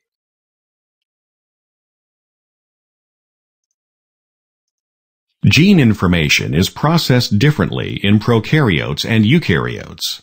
Because prokaryotes lack a nuclear envelope, messenger RNA, mRNA, can associate with ribosomes in the cytoplasm as the mRNA is being formed. Translation of mRNA into protein begins before transcription is complete.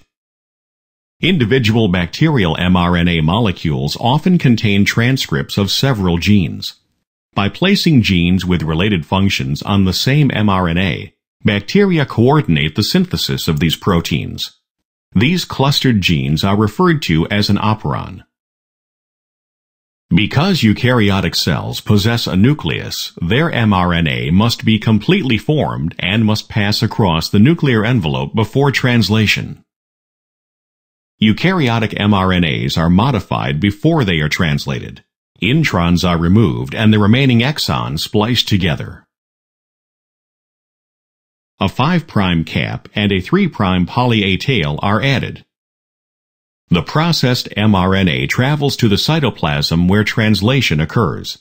In contrast to prokaryotic mRNA, eukaryotic mRNA usually specifies only a single protein.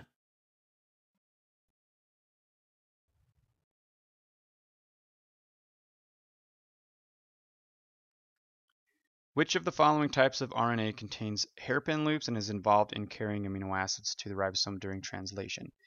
mRNA, rRNA, scratch that, regulatory RNA, rRNA, or primer RNA? And the answer is transfer RNA.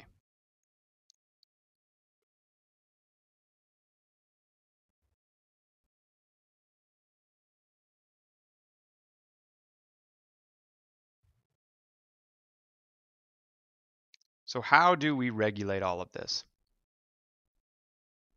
So we have these mechanisms built in to make it so we're not translating and transcribing every single gene um, in a chromosome. We only use the ones that we need. And a lot of this is based on these enzymes. And, and the reason why we do this is obvious. We don't want to be wasting energy and materials when we don't need to. So this occurs both in prokaryotes and eukaryotes. And some of the enzymes, these regulatory enzymes, are antisense uh, RNAs, microRNAs, and riboswitches. And one example that we're going to discuss is called an operon. Now, we only see operons in, in prokaryotes. Um, and what an operon is, is a set of genes in, in a row um, that are, all act together as sort of a single unit and they code for enzymes. And there's two types of operons. The first type is called an inducible oper operon. Um, it's turned on or induced when the substrates that the enzymes are induced by the substrates that the enzyme code for. So in other words, when the in, when the substrates are present, then we go ahead and make the enzyme to be able to act on those substrates. So a lot of operons that is that we use for catabolism are inducible. I shouldn't say we use, but bacteria use, right? Uh, and the example or the reason why is because when the nutrient is actually per, uh, need, when the nutrient is there that needs to be metabolized, that's when we go ahead and create the enzyme for it. We don't we don't just have them there all the time. The other type is called a repressible operon. And remember, catabolism is breaking down, right? Anabolism is building things up. And so these are actually repressed when we've created what we are trying to create. So that's this is a negative feedback mechanism, right? So say we need to create something like, well, that's a bad example, so I'm gonna use it. Um, so we're trying to build some sort of something. And and I'm going to give you an example of this a little bit later, but once we build it and we've we've made it, we no longer need to keep building it. And so once we have a, a buildup of the product, it goes ahead and turns off or represses the production of the enzyme so we don't continue wasting our energy making it. So an example of an operon is the lactose operon or lac operon. And the lac operon only functions when there's no glucose or if there's not enough glucose for the cell's energy requirements. Okay, so what it does is it turns on enzymes that allow it to use something other than glucose. So when there is glucose around, and I'm going to show you uh, pictures of this, so but when there is glucose around, the lac operon, or in other words, that set of genes that codes for the enzymes that break other things down, is turned off because we don't need it. we have got glucose and, and everybody's happy. So first described by this guy in 1961, and this is uh, in Escherichia coli or E. coli. So parts of this are the regulator, and the regulator is the gene that codes for the repressor, the thing that actually keeps this lac operon from functioning. And that regulator isn't even necessarily near the operon, by the way. Um, there's also what's called the control locus, and in that control locus, we have a promoter, which is the section uh, that the RNA polymerase recognizes and the operator, and that's where the actual information is. Uh, that not true. That's actually the switch that switches it on or off. Um, and then the structural locus, which is where the information is. So that's where the the instructions are for creating the different enzymes. So this is what the operon looks like. So here's the regulator. There's the promoter. There's the operator where the switch is. And then these are all the genes right here. So normally this thing is off, and that's off when there's glucose present. So it does not initiate these enzymes that break down other sugars. So it's kept in the off position by this protein called the repressor protein right here. So it actually locks and prevents RNA polymerase from binding, so it can't continue on and trans, uh, translate those genes. And as we'd mentioned, this repressor protein is coded for by this regulator. So this regulator has the information on it to make this protein. Um, and the and the repressor is a is a big molecule, and it, it's called allosteric. And what allosteric means is that it has two binding sites. So one of the binding sites is for the operator sequence on the DNA, which is this binding site. So you can see how it attaches to the operator. The other one is for a sugar called lactose. So when there's no lactose present, it allows it to bind to the operator, which blocks the transcription. Okay, because it lies upstream from the, and as far as the direction of transcription goes, it lies upstream from the structural genes. And it's transcribed separately, um, which means that it doesn't have to be controlled by the same mechanisms that control these, these structural genes. So what happens when lactose is present then? What happens is it turns the whole operon on. And the reason why it does that is because the lactose will bind to this other binding site. And what that does is opens it up and dislodges it from the operator. And once this repressor protein is gone, that allows the RNA polymerase to go ahead and attach now and transcribe these genes. So there's the RNA polymerase. Our uh, operator is now opened up and transcription occurs and we create this mRNA down here. So what does the mRNA do? Well, we have to transcribe it first, excuse me, translate it, and so we attach it to ribosomes, and it creates these three, there's three different genes, so it creates these three separate proteins. And what these proteins do, they're enzymes,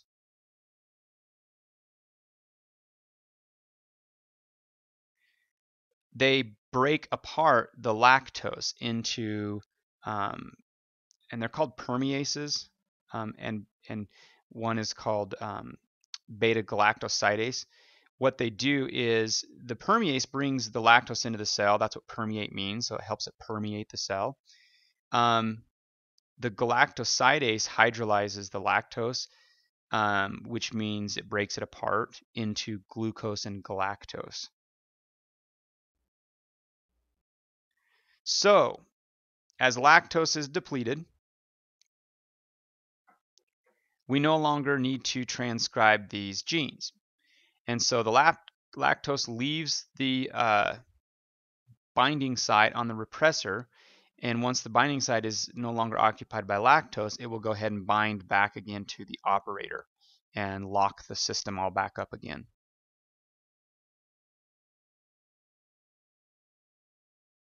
And we stop transcription.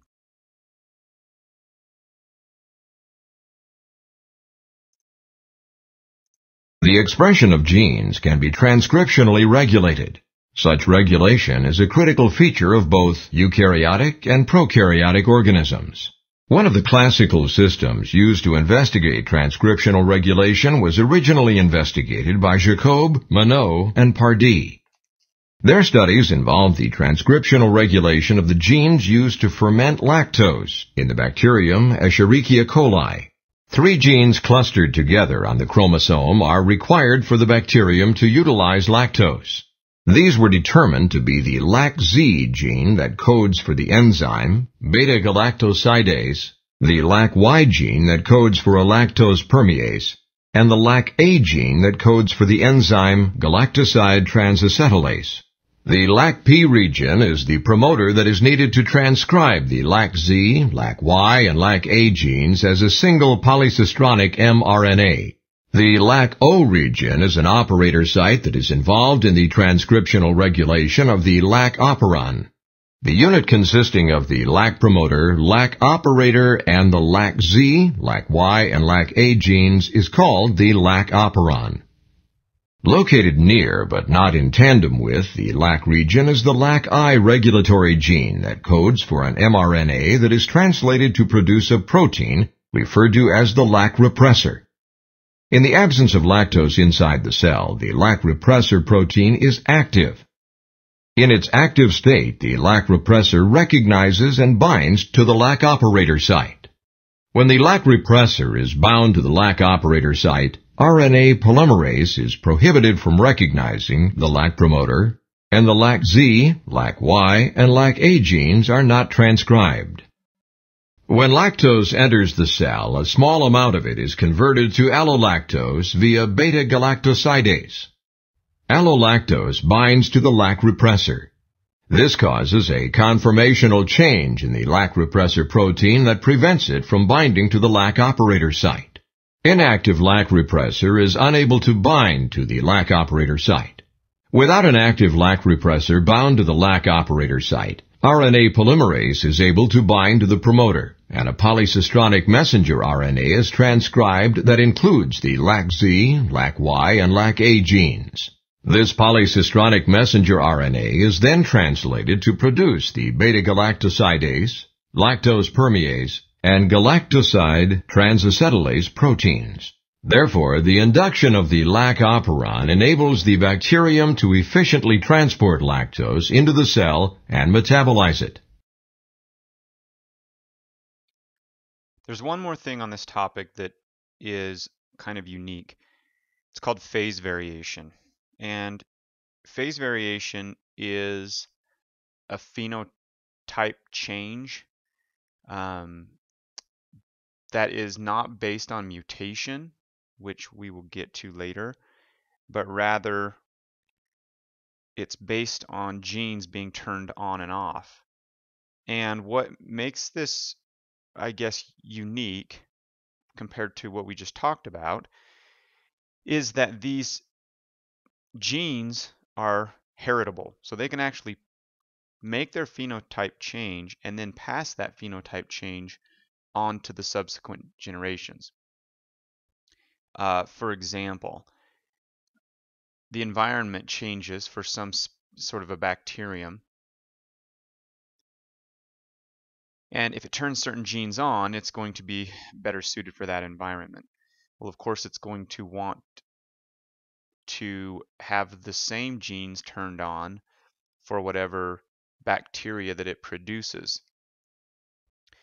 So that's what basically what phase variation is.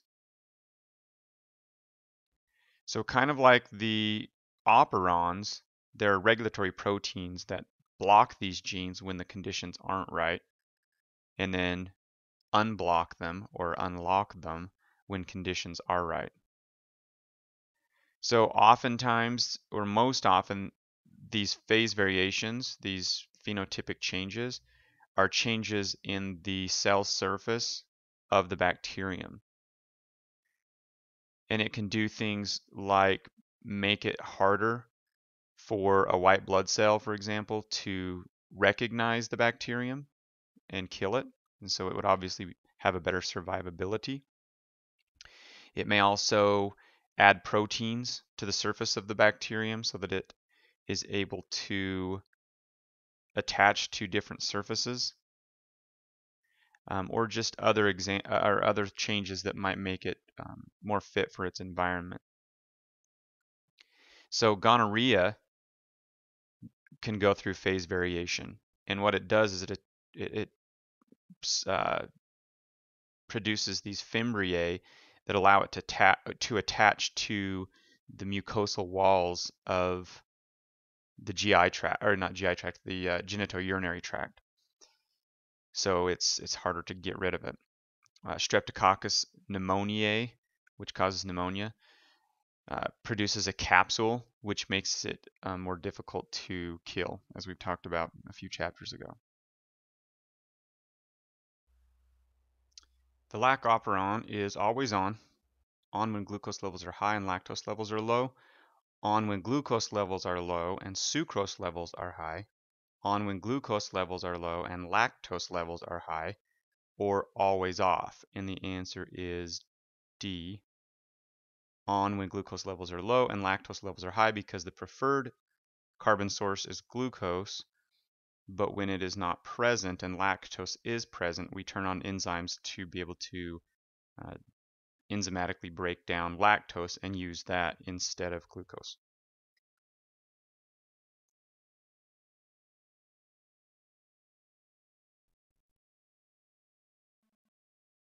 Decom DNA recombination events so recombination is sexual reproduction in prokaryotes.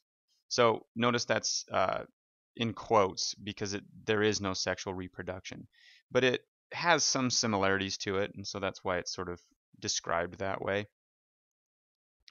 Um, but there are no gametes. Um, there's no diploid uh, DNA or anything like that. But there is some exchange of nuclear material between different bacteria. So a recombinant is a term that describes the, the bacterium that receives the DNA. Um, and this is just a piece of DNA. And what we end up with with recombination is a new strain that is not like the donor or the original recipients. And this is due partially because of these plasmids that these bacteria have, but there are other uh, methods that we'll talk about.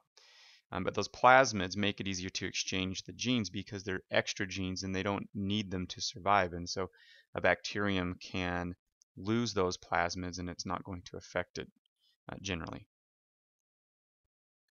So recombination provides genes for things such as resistance to drugs, or other metabolic poisons, so the survivability of the bacteria is better.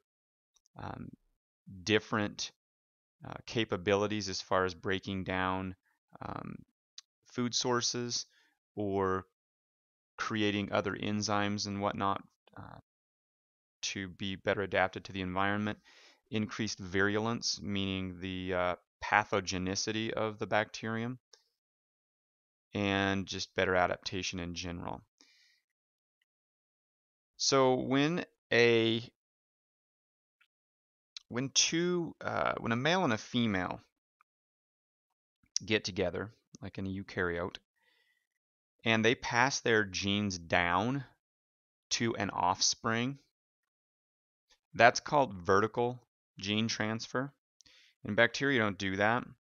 They do what's called horizontal gene transfer, which is DNA transfer um, from into an organism that did not come from a parent organism. Because technically there aren't parents with bacteria, um, because when bacteria reproduce, they just divide. So you you don't end up with you know a, an offspring and two parents. You end up with one cell dividing into two identical cells.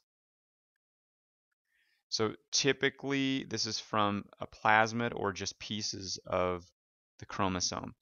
Obviously, if you transfer the whole chromosome, then whatever you transferred it from is no longer going to live, right? So that wouldn't work. So we've talked about this before, but just to review, these plasmids are these little small circular pieces of DNA um, inside of the prokaryote and, and some eukaryotes, mostly prokaryotes, that uh, replicates on its own during cell division. Um, and as I said, some fungi have these plasmids, but mostly it's prokaryotes, and that's what we'll focus on. So these things are small and only have like a few dozen compared to generally, you know, between one and 2,000 genes on a typical bacterium. Um, not necessary for survival. And they may contain genes that, that have useful traits, such as antibiotic resistance. They may not. They may not have anything useful. So there's three mechanisms for horizontal gene transfer. The first one is conjugation, the second one is transformation, and the last one is transduction. So we're going to go through each one of those starting with conjugation. So this is termed bacterial sex. Now remember, um, I should talk about that word for a second. So in biology and anatomy and physiology, sex does not mean sexual intercourse, although in this particular instance that is how it's being used. Um, sex means gender, okay? But in this case, we're talking about sexual intercourse. However, with that being said, you got to understand it's not sexual intercourse, and there is no male and female involved. Um, but there's some similarities to it, and so that's why it's termed that. But make no mistake, it absolutely is not sex. Um, so it requires the attachment of two different species that are that are similar to each other, um, and they create some sort of a bridge. There's two different ways they do that that transports the DNA from one to the other. And so they transfer it with one of these two direct connections. Conjugation is a mechanism of gene transfer that requires direct contact between donor and recipient cells. A plasmid is a small piece of DNA, separate from the main chromosome, that carries genetic information for such things as antibiotic resistance. The first step in plasmid transfer is contact between the donor and the recipient. The pilus of the donor cell recognizes and binds to specific receptor sites on the cell wall of the recipient cell. The plasmid then becomes mobilized for transfer when an enzyme cleaves one strand of the plasmid at a specific nucleotide sequence, called the origin of transfer.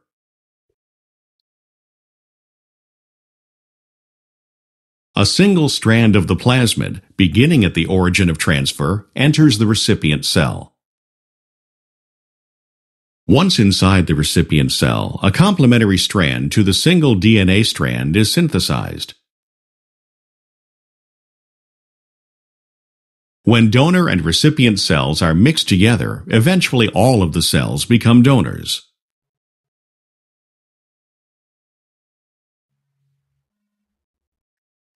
So this video just explained a gram-negative cell because the gram-negative cells use a pilus. Gram-positive cells don't. They just create a passageway in between the two. And so those are the two methods I had mentioned earlier um, as far as how they donate. And, and there's two different uh, types of transfer as well. And so don't confuse the two methods of transfer with the, the two types of trans transfer as far as the things that they transfer. So just really quickly, um, one is F factor transfer and the other one is high frequency.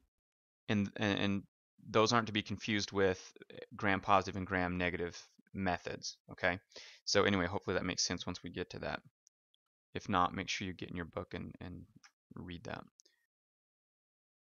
So obviously both gram positive and gram negative cells um, can conjugate. And as I said, um, they do it a little bit differently. So in gram-negative cells, they donate this fertility factor or F factor. Um, one quick note, the book calls this F prime factor, and as far as I know, that's a mistake um, because it's just F factor. What the F prime is is it's the they use that prime on there to to uh, denote the F prime bacteria, which are the gram-negative bacteria that receive the F factor plasmid. So pretty sure your book is wrong. It's not the F prime factor, it's the F factor that is given to the F prime bacterium.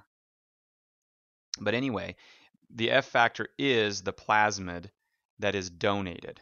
So it's just another name for the piece of plasmid.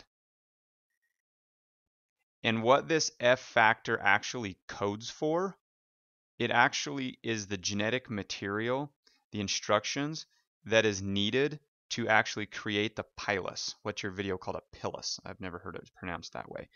Um, but the pilus, which is that little projection that, that comes out of the cell. So the recipient has a recognition site on the surface, proteins on the surface that allow the pilus to at attach to it. So there's two different names for these cells. We have an F positive cell and an F negative cell. And the F negative cell is the same thing as the F prime bacterium. The F positive cell is the one that already has the plasmid. And I, and I don't know if the positive and negatives, if that's what they denote exactly, but it makes sense. Um, you can think of it as the one that has more is the positive one, and the one that has less is the negative one. Um, so it does make sense. Um, so anyway, the F positive cell is the cell, like I said, that is donating the F factor. The F negative cell is this is the bacterium that is receiving it. So the pilus grows from the F positive to the F negative, and then it transfers the DNA. So gram-positive cells don't use a pilus. They uh, create some sort of an opening between the two of them. Once, so essentially, their their cell membranes just grow together, and they have create a hole, and then they will detach later on.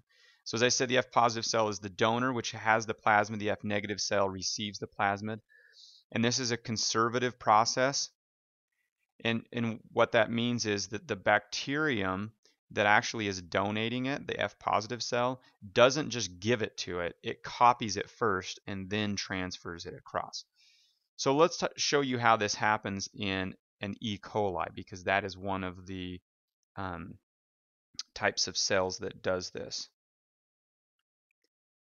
So with E. coli, there's two different ways that they uh, or two different methods, I guess, um, for transferring the DNA. Uh, or what I mean is uh, they transfer two different types of uh, DNA material. Um, the first one is F factor transfer, which is what we just talked about, is what the video showed. And gram or E. is a gram negative bacterium, so these create the pilus. And so this is what this picture is showing. So the pilus comes across, forms a bridge. Here's the F positive and here's the F negative cell. The plasmid here, so here's the chromosome, here's the plasmid. The plasmid is replicated, and then the new piece is sent across through this bridge and turned back into a circle. And then this bridge right here is broken.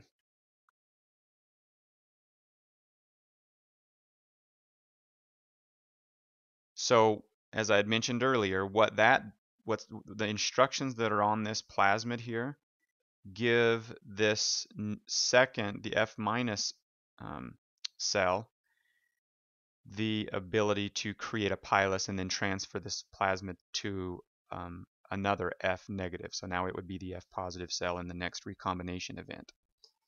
The other method is called high frequency recombination. So also known as HFR. And what happens in high frequency is the plasmid actually combines and becomes part of the chromosome. So it creates the pilus just like before, but instead of transferring a plasmid, it transfers part or all of this chromosome. And I don't exactly know why, but in some cases the, the plasmid doesn't even come across, just part of the chromosome of the original, um, the F positive cell. Well, we I don't know if that's technically called the F positive cell since it's not um, F factor that it's uh, passing across, but at least the donor cell. So why are these things important? Um, because these plasmids, this conjugation can create uh, resistance of drugs and whatnot. And so they're called resistance plasmids or resistance factors or R factors and it may, can make these things resistant to things like antibiotics. That's where we're getting these super bugs potentially in some cases. Could make them resistant to heavy metals, which also will kill bacteria because it disrupts certain cellular processes. Um, it can also give them the ability to synthesize virulence factors, which just make them more pathogenic. And that's conjugation. So the next type of horizontal gene transfer is called transformation. And this is where DNA is actually captured from a solution. So there's DNA floating around in whatever solution they're in. And they take it up into them. So there's no special vehicle that's required. Um, it's because of these proteins that are on the surface of the cell that allow them to capture the DNA and bring it into the cell. So cells that can do this are called competent cells. Incompetent we think of it as just being like smart, but that's not what it means. It just means competent just means having the ability to do something. And so these have the ability, so they're competent. So this is a process that occurs naturally in some gram-positive and gram-negative bacteria. Uh, like I said, there's no special appendages or anything that are required. And the donor and recipient cells don't have to be in, in direct contact. Matter of fact, there doesn't even need to be a donor cell. Um, just free-floating DNA fragments can be taken up. So this is a useful thing for in, in the laboratory um, in recombinant DNA technology. Because scientists can take foreign genes that have no relation to the bacterium and and bring it up into the bacterium and then use it to transfer it later on or just replicate it to create some sort of a uh, um, could be a lot of things some sort of a um, product like a drug or something like that. And so of course the way they do it is through transformation. They bring it up into the cell right so they can do this in the lab in a test tube so eukaryotic cells can do something similar to transformation it's called transfection so some yeasts, some plants, and mice apparently can do this. And here's a video on it. DNA transformation involves the transfer of naked DNA into a recipient cell. In the first step, double-stranded donor DNA binds to specific receptors on the surface of a competent cell. One strand of the donor DNA is degraded by nucleases while the other strand enters the cell. The single-stranded donor DNA pairs with an homologous region on the recipient DNA and is integrated into the recipient genome by a breakage and reunion mechanism called homologous recombination. If there are any differences between the nucleotide sequences of the donor and recipient DNAs, the mismatch repair system comes into play. The repair system removes either the donor or the recipient strand and replaces it with the complementary sequence. Since either strand may be repaired, some cells contain the new donor DNA and others have the original DNA sequences. In the laboratory, cells are plated on selective media so that only the transformants will grow.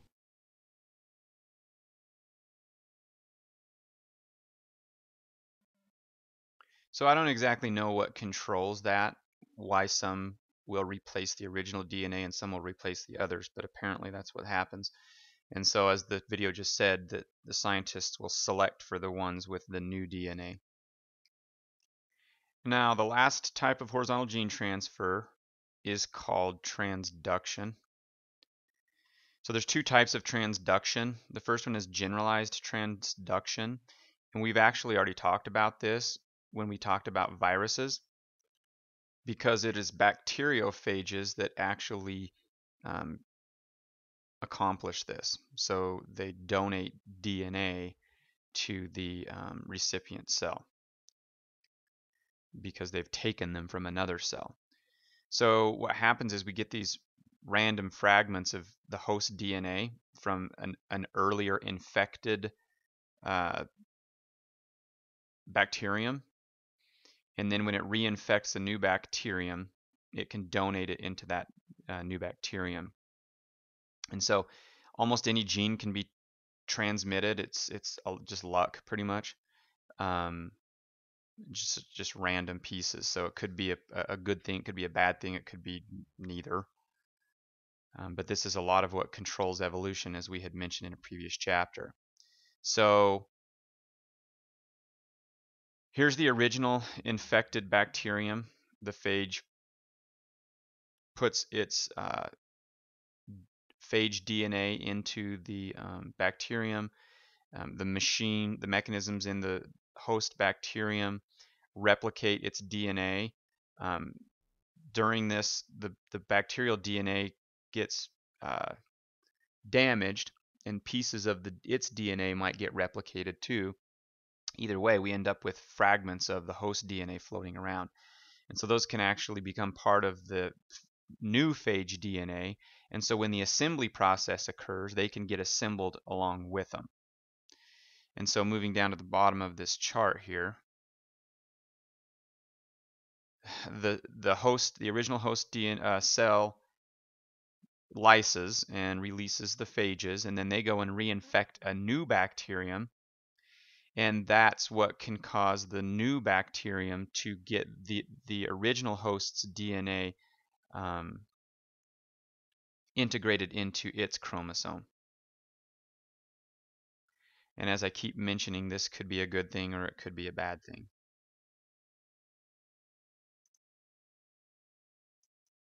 In generalized transduction, a segment of DNA is carried from one bacterial cell to another by a bacterial virus called a bacteriophage or phage. The phage attaches to the bacterial cell and injects its nucleic acid into the host cell. A phage enzyme is produced that breaks down the host DNA into smaller fragments. Phage DNA is replicated and phage coat proteins are produced. During formation of the mature phage particles, a few phage heads may surround fragments of bacterial DNA instead of phage DNA. The phage particle carrying the bacterial DNA infects another cell, transferring the bacterial DNA to the new cell. When the bacterial DNA is introduced into the new host cell, it can become integrated into the bacterial chromosome, thereby transferring genes to the recipient. This cell then multiplies and carries new genetic material. So that was generalized transduction. And the other kind is called specialized transduction. And they're essentially the same. What's basically different about them, um, the major difference, is that rather than it being just random pieces of DNA that get transferred, it's a it's a very specific part that's transferred and it's the same part is transferred each time. So aside from that, it's essentially the same. The DNA gets uh, integrated into the phage's DNA, and then they will infect another cell. So here's the lysis part, and up to this part, we're essentially the same as before. Um, well, I guess it's all essentially the same. The only difference is, like I said, that other, or that it's a specific part of the, the DNA that gets transferred each time. Um, but there's two possible choices Either the bacterial DNA gets transferred or a combination of the bacterial and the, and the phage DNA. So this video here will explain that. Specialized transduction involves the transfer of only a few specific genes from one bacterial cell to another by means of a phage. The lambda phage, which infects E. coli, is a well-studied example of a specialized transducing phage. When lambda phage infects E. coli, the phage DNA enters the cell and then integrates into a specific site on the host chromosome. When an E. coli culture carrying the lambda phage is induced, phage particles are produced. On rare occasions, a piece of bacterial DNA, for example the GAL gene, near the specific site of insertion remains attached to the phage DNA and a piece of phage DNA is left behind. The phage that develop are defective because they do not carry the entire phage genome, but can still infect other cells. The defective phage can attach to another bacterial cell and the DNA can be injected. Both phage and bacterial DNA now become integrated into the new host chromosome. Only bacterial genes located near the site of integration of the phage DNA can be transduced, hence the term specialized transduction.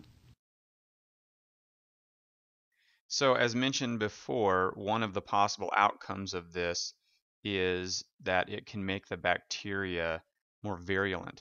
And we had even mentioned this a few chapters ago, but uh, Corynebacterium, diphtheriae, Clostridium, and Streptococcus uh, pyogenes all become more virulent because these um, this specialized transduction causes them to uh, be able to produce toxins that they could not produce before.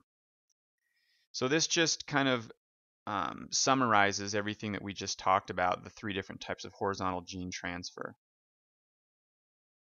So some things to kind of take note of. Uh, conjugation is the only one that's direct, meaning go, it goes from one bacterium to another.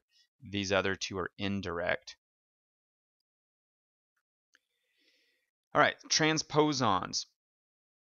These are elements of nuclear material that are able to shift from one part of the genome to another. So they call them uh, of the same organism. So they call them jumping genes. So they can be transferred either from one place on the chromosome to another place on the same chromosome, from a chromosome to a plasmid, from a plasmid to a chromosome, um, or if if the if the if it has more than one chromosome, from one chromosome to another chromosome in the same uh, cell, or from one cell to another, from one bacterium to another bacterium, and some eukaryotes. So from one bacterium to another or to a eukaryote. So lots of different choices there. So some replicate themselves before jumping to the next location, and others just move and don't replicate themselves. So as always, these changes can be beneficial, detrimental, or neither. So some examples are things like colony trait changes, morphology of the colony, uh, pigmentation produced by the colony, antigenic characteristics, which are the cell surface markers, um, replacement of damaged DNA, intermicrobial transfer of drug resistance, um, so meaning one bacterium transfers drug resistance to another bacterium. So this just outlines the three possible uh, three of the possible choices, and this is all uh, within the same bacterium. So this blue part, this blue section of the DNA here is the transposon, and so this one shows the transposon moving from here to here without replication. This one shows the transposon moving to all four of these different places, so that obviously would have to have been replicated to do that. And then this last one shows the transposon moving from the chromosome to a plasmid.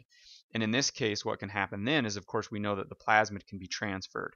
So that's how we can, uh, or this bacterium can transfer its um, transposon without losing any of its nuclear material, or not nuclear material, material, chromosomal material. There's no nucleus.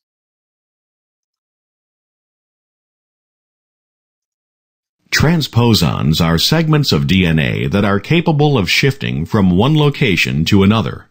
A transposon enters the cell by being carried on a plasmid.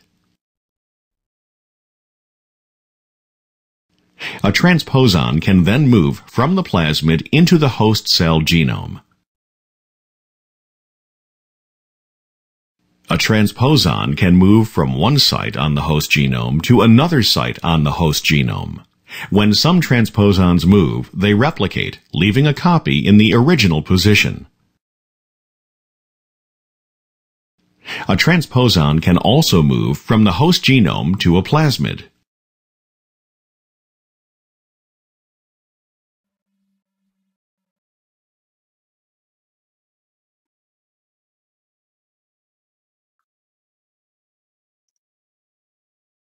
Which of the following mechanisms of horizontal transfer involves the transfer of bacterial DNA through a bacteriophage? Transposition, conjugation, transformation, or transduction, or E, none of those are correct. And the answer is, of course, D, transduction.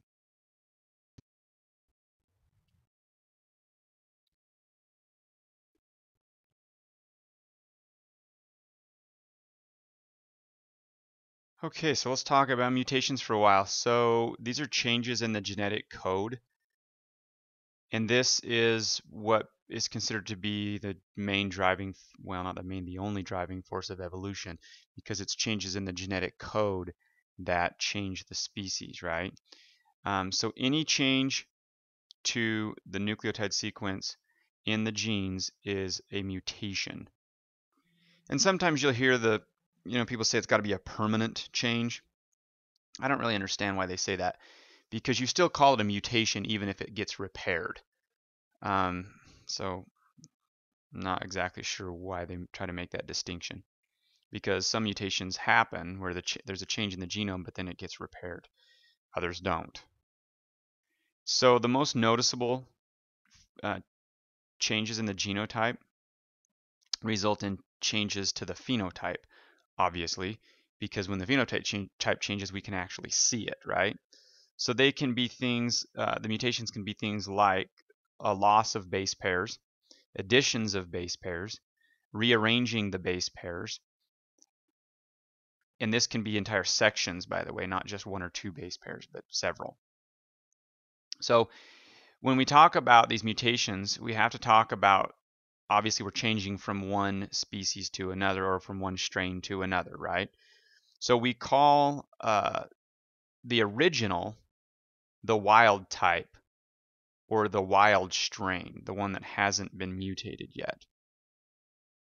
So the mutant strain is the one that shows some sort of variation from the wild type. So it could be like morphology, which would be the phenotype, um, nutritional characteristics, what it can or can't consume, um, genetic control mechanisms, resistance to chemicals like antibiotics, temperature preference, so it can live in, in a higher or lower temperature than the wild type, and that might make it more adapted to that environment, or all kinds of functions in the enzymes. So this mutant word, if I mean, this is like I've said, how they think all life has evolved from whatever the original type of life was as these chromosomes and DNA change, whether you believe this or not. This is at least the current theory. So as these things change, um, these mutations occur, the, the, the different um, species are more adapted to an environment um, potentially, or you just separate species far enough apart that eventually they just change enough that they're no longer um, the same species, um, regardless of what the environment is.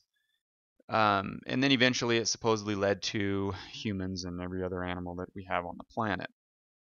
So if you ever watch the X-Men, they talk about mutants. Um, so there's a glimmer of truth to those movies. Um, we do know that mutations happen. However, it's not possible that you're going to be able to control the weather or anything like that from a mutation. That's a little extreme. Um, mutations don't happen in those dramatic fashions. Um, they're just usually teeny, teeny little changes that most often aren't even perceptible. So what kinds of things create these changes in the nuclear material? So we can have just spontaneous mutation, which comes from just errors in the DNA replication. They do happen, and as we mentioned before earlier in this chapter, most of those errors are, are fixed, but sometimes they get missed somehow. There are also induced mutations, which is from exposure to some sort of a mutagen. So physical damage, chemical damage, uh, things like radiation, ultraviolet light, x-rays, uh, acids, anything that will damage the DNA. Um, hydrochloric acid, for example, in a human, which is what the stomach acid has in it, or which is what your gastric juice has in it. It's called stomach acid. Um, if it chronically irritates the esophagus because of uh, GERD, gastroesophageal, re, uh, gastroesophageal reflux disease, you can end up with this thing, this thing called Barrett's esophagitis, which can which is called precancer, um, because it's chronically damaging the DNA, and eventually, chances are you're going to create some sort of a, a, cancer.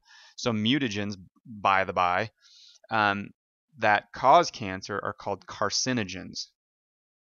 Um, but of course, we know that ultraviolet light can cause skin cancer and other types of radiation like X-ray and gamma radiation and things like that. So how often do these things occur? I had mentioned this earlier in the chapter when I was talking about something else. I was talking about errors, um, which would be spontaneous mutation, but this is including all mutations. So it's somewhere from the area of 10 to the 5th and 10 to the 10th. So 10 times 10 times 10 times 10 times 10 times 10 um, to 10 you know times itself 10 times so this, these are just enormous numbers right? Meaning it doesn't happen very often is the point. However when you're talking about dna that replicate you know in the numbers of the billions um, it doesn't take very much time for one to happen even though the actual number is very very very small So mutation is a permanent alteration in the DNA that's copied into the mRNA and then can be translated into some sort of a protein. Now, obviously, if it's a change in the DNA, um, it potentially can change the protein. Now, remember there were uh, missense mutations. Gosh, did we talk about that? We did. Um, that don't change the um, or nonsense uh, that don't change the uh, actual protein? No, that's not true. We're, we haven't talked about it yet. We're going to. So anyway, some of them can change the protein. Okay, they don't always change it. Um, I, I know what it was. I had mentioned that when we were looking at what amino acid gets placed on it, that oftentimes we can change the, the third um, base of the codon without actually changing which amino acid it gets um, that it codes for, such as you know any any serine as long as you have a U and a C on the front, it's going to create serine um, no matter what the third base is, whether it's a U, C, A, or G, it doesn't matter. So we're going to get to what that's called here in just a second. Anyway, that was a little bit of a detour. Sorry about that. Um, so as I've said, a change in the protein could change the morphology and physiology of the cell. There are lethal mutations, and that's when the mutation causes the, the cell to not function correctly, and then it dies, and then the mutation is gone. And so that's sort of a, a mechanism that's built in, and that's why one of the arguments for evolution is because if it's a detrimental change, then it's not passed on to subsequent generations. Um, and that's not always true if it's lethal, it's not, but there are detrimental changes that are not lethal, and those can be passed on. Um, neutral mutations don't do anything, and then of course there are beneficial mutations, um, which actually are very rare, but they're the ones that actually make the uh, organism more fit to its environment, therefore it's going to be naturally selected for, and it'll be more likely to pass on its genetic material. So this chart shows the different kinds of mutations. So the categories are point mutations, which are mutations that only affect a single base on a gene. And of these, there are types of those. So one is called a missense mutation, which leads to a different amino acid in the protein because uh, we change one of the bases that uh, will change the amino acid. So here's our original here. This is normal, this top one up here. So this is showing a missense mutation. So normally we're going to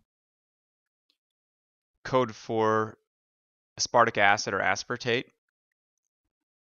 But instead, because of this changing the uh, G on the original DNA to a T, we end up getting a GAA codon on the mRNA, and so we end up with glutamate or glutamic acid instead. So that's a missense mutation. So missense mutations can lead to a dysfunctional protein or a non-functional protein or a less functional protein or a protein that functions in some different manner, which could be um, good, or it may cause no significant alteration in the protein because of the way the protein folds. It may have no effect on how the protein folds. Then there are these things called silent mutations. This is the one I was talking about earlier. Um, so I misspoke because I said missense. Um, but anyway, it alters the base but doesn't change the amino acid. So our original DNA code was CTG up here, but the mutation changed it to CTA. So when our original mRNA codon was GAC, which coded for aspartate, it's now GAU, but GAU also codes for aspartate. So this silent mutation actually does not change the amino acid that we place on the protein. Therefore, this doesn't technically cause any kind of a change in the morphology or any change at all in the uh, protein. And this one down here is called a nonsense mutation. And that's where a, a normal codon that would code for an amino acid is turned into a stop codon. So this TAC created an AUG on the mRNA, which coded for methionine. Uh, but what happens is it this um, well, what happened here was we removed a base and it we had a frame shift. But anyway, we end up with um, ACT, which codes for UGA, and UGA is a stop codon. And so instead of this protein continuing on, it gets cut short, and so these amino acids that would have been placed because of these codons back here don't get placed, and so we end up with a short uh, peptide, which would um, more than likely not function. So they're almost always non-functional proteins. So I just mentioned a frame shift, but let's tell you what that actually is. So it's where we insert or delete one or more bases from a DNA strand. So we know that we read these codons in threes, right? So we call that the reading frame. So if we change the reading frame, and here's the example that I put down here, this is what we originally had, and I tried to make this simple. So I used AAA, there's our first codon, GGG is our second codon, and CCC is our third codon, and UUU is our fourth codon. Um, so if we, for example, add a U on the front here, our first codon, instead of being AAA, is going to be UAA, which is what this is. And notice all of this right here just shifted to the right.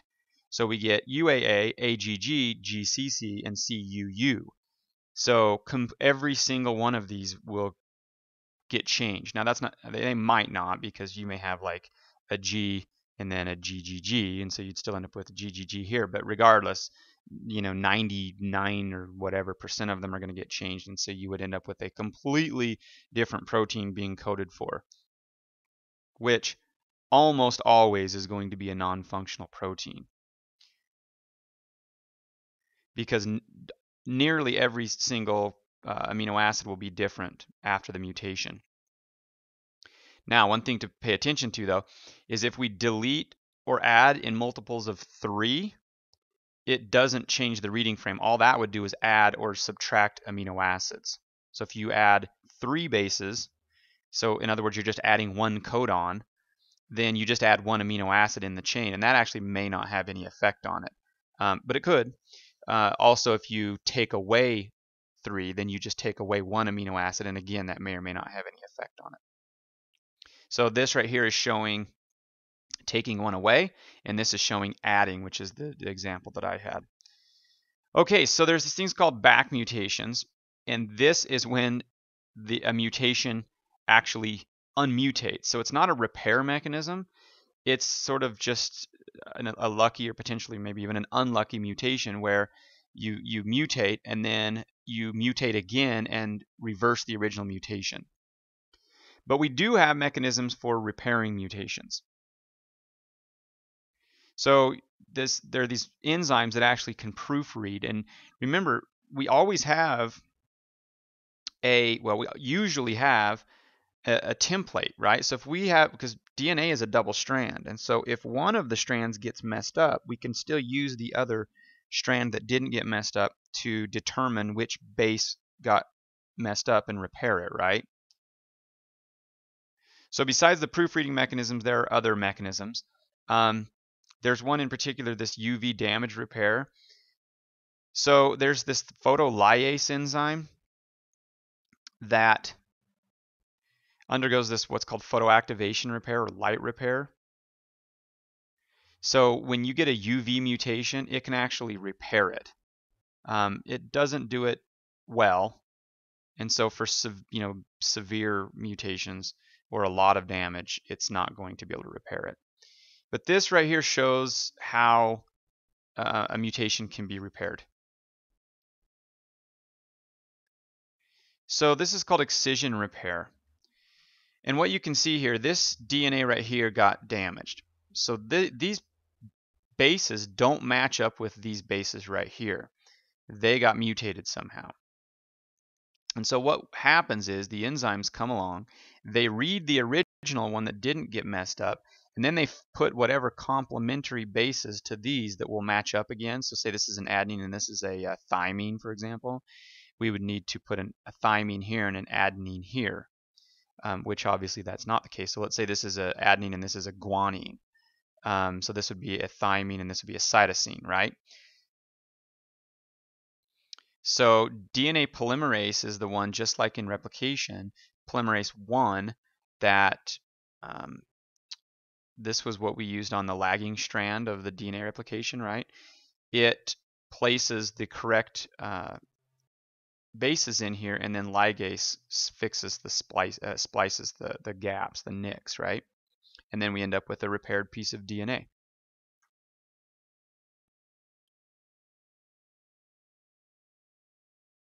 And I pretty much said all that right there.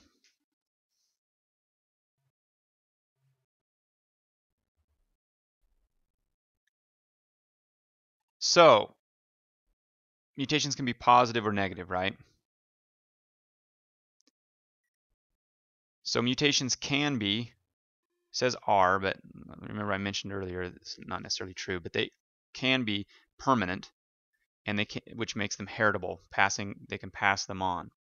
So as we've mentioned, most spontaneous muta mutations are not beneficial, and they, they end up getting lost. The ones that make the organism more suited to its environment, though, will give it a greater likelihood that it will be passed on, and therefore um, that particular species will get um, will have a better survivability, and obviously that mutation will continue on. So when the environment is stable, mutations aren't as com I shouldn't say mutations aren't as common because they happen at the same rate generally. Um, but what isn't as common is the survivability of the mutation because if this in the stability in a stable environment, uh, generally whatever the wild strain is is already um, best adapted to the environment. But when the environment changes, for example, temperature change or something like that, if a mutant happens to be better adapted to the temperature change, then its survivability will be higher and it's going to be more likely to, to continue that mutation on in its in its offspring or um, whatever cells that uh, come from it, whichever the case may be, and the mutation will continue on, and then it'll, it'll eventually become the wild type. So uh, an example of this is drug resistance, these superbugs that we get, because if you um, basically it works like this: antibiotic. There's always, at least my understanding is, there's always bacteria that are resistant to the antibiotic. And what the idea is behind an antibiotic, and that's because of mutations. The idea is this: you kill enough of them that the ones that are resistant can be killed by your immune system. Um, that's why they want you to continue to take the antibiotic all the way through the whole entire um, whatever the prescription is. If you stop partway through, then what happens is the resistant strains will survive and multiply, and then you end up being infected with with mostly resistant bacteria, and that's why when you get when you ha- get an antibiotic and it doesn't work, they don't ever give you the same antibiotic again. They always give you a different antibiotic because the assumption is that the original antibiotic won't work anymore because now what you're infected with are mutant bacteria, superbugs. Which of the following types of mutations will have the most devastating effect on a cell? Point mutations, frame shift mutations, missense mutations, nonsense mutations, or silent mutations. And you, you may not know this, and it's probably not all that important, but um, usually, you can't say always, um, but usually the one that has the most devastating effect are frame shift mutations because it completely changes the protein. I mean, of course, if it happens at the very end, then that's probably not going to make a difference. But um, certainly, if it happens somewhere in a significant part of the uh, DNA, like toward the middle of the gene or the front of the gene, then you're in, in serious trouble.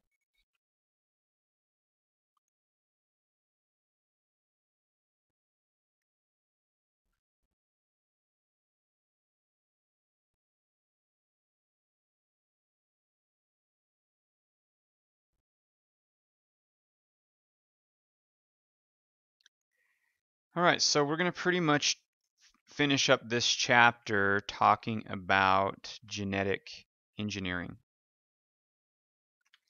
So genetic engineering is changing the um, genome in the laboratory. And they do this for lots of reasons. Um, some of them maybe not very noble. Um, if you've read or read about or seen the, the, the documentary Food Inc. and know anything about Monsanto and their tactics of uh, GMO corn and GMO soybeans and things like that, um, eh, you may not think this is a good thing. Um, but certainly in some cases, it's a very good thing. So one of the very, very important uh, aspects of genetic engineering are these things called restriction endonucleases. Uh, these things were discovered in like 1971, and if it weren't for these, we none of this genetic engineering would even be possible. So what these things are is enzymes that can recognize specific sequences in DNA and then break apart the phosphodiester bond between the nucleotides on both strands of DNA. So you take a double strand of DNA and you actually separate it. So they found these things in bacterial cells. And so what they've done is they've they've taken them out of the bacterial cells and they'll use them to break apart the DNA. And the reason why the bacteria have them is that it's a protective mechanism. So when a bacteriophage tries to uh, put its DNA into its chromosome, it can actually uh, find that and repair it and get it out so it doesn't uh, occur. So what it does in the lab though is it allows these scientists to cut the DNA apart at very specific sites because different endonucleases will recognize different G, uh, gene uh, DNA sequences. And so they have to have this for this type of technology. And there are hundreds of different kinds. Uh, what they are is these uh, this is made up of four to ten base pairs. That that's a mistake. They're not they're not base pairs. They're, these things are enzymes, right? Um, what that means is they recognize four to ten base pairs, and, the, and these things that they recognize are called palindromes. Um, and I'll show you a picture of that in just a second. So what they are, if you know what a palindrome is in a uh, in in the English language, it's like the name Bob is a palindrome. It's read the same backwards as forward. Um, race car is another one, read the same backwards as forward. Um, it's sort of like that, and I'll show you a picture. It's it's there's a it's kind of different, but but that's at least where it gets its name from.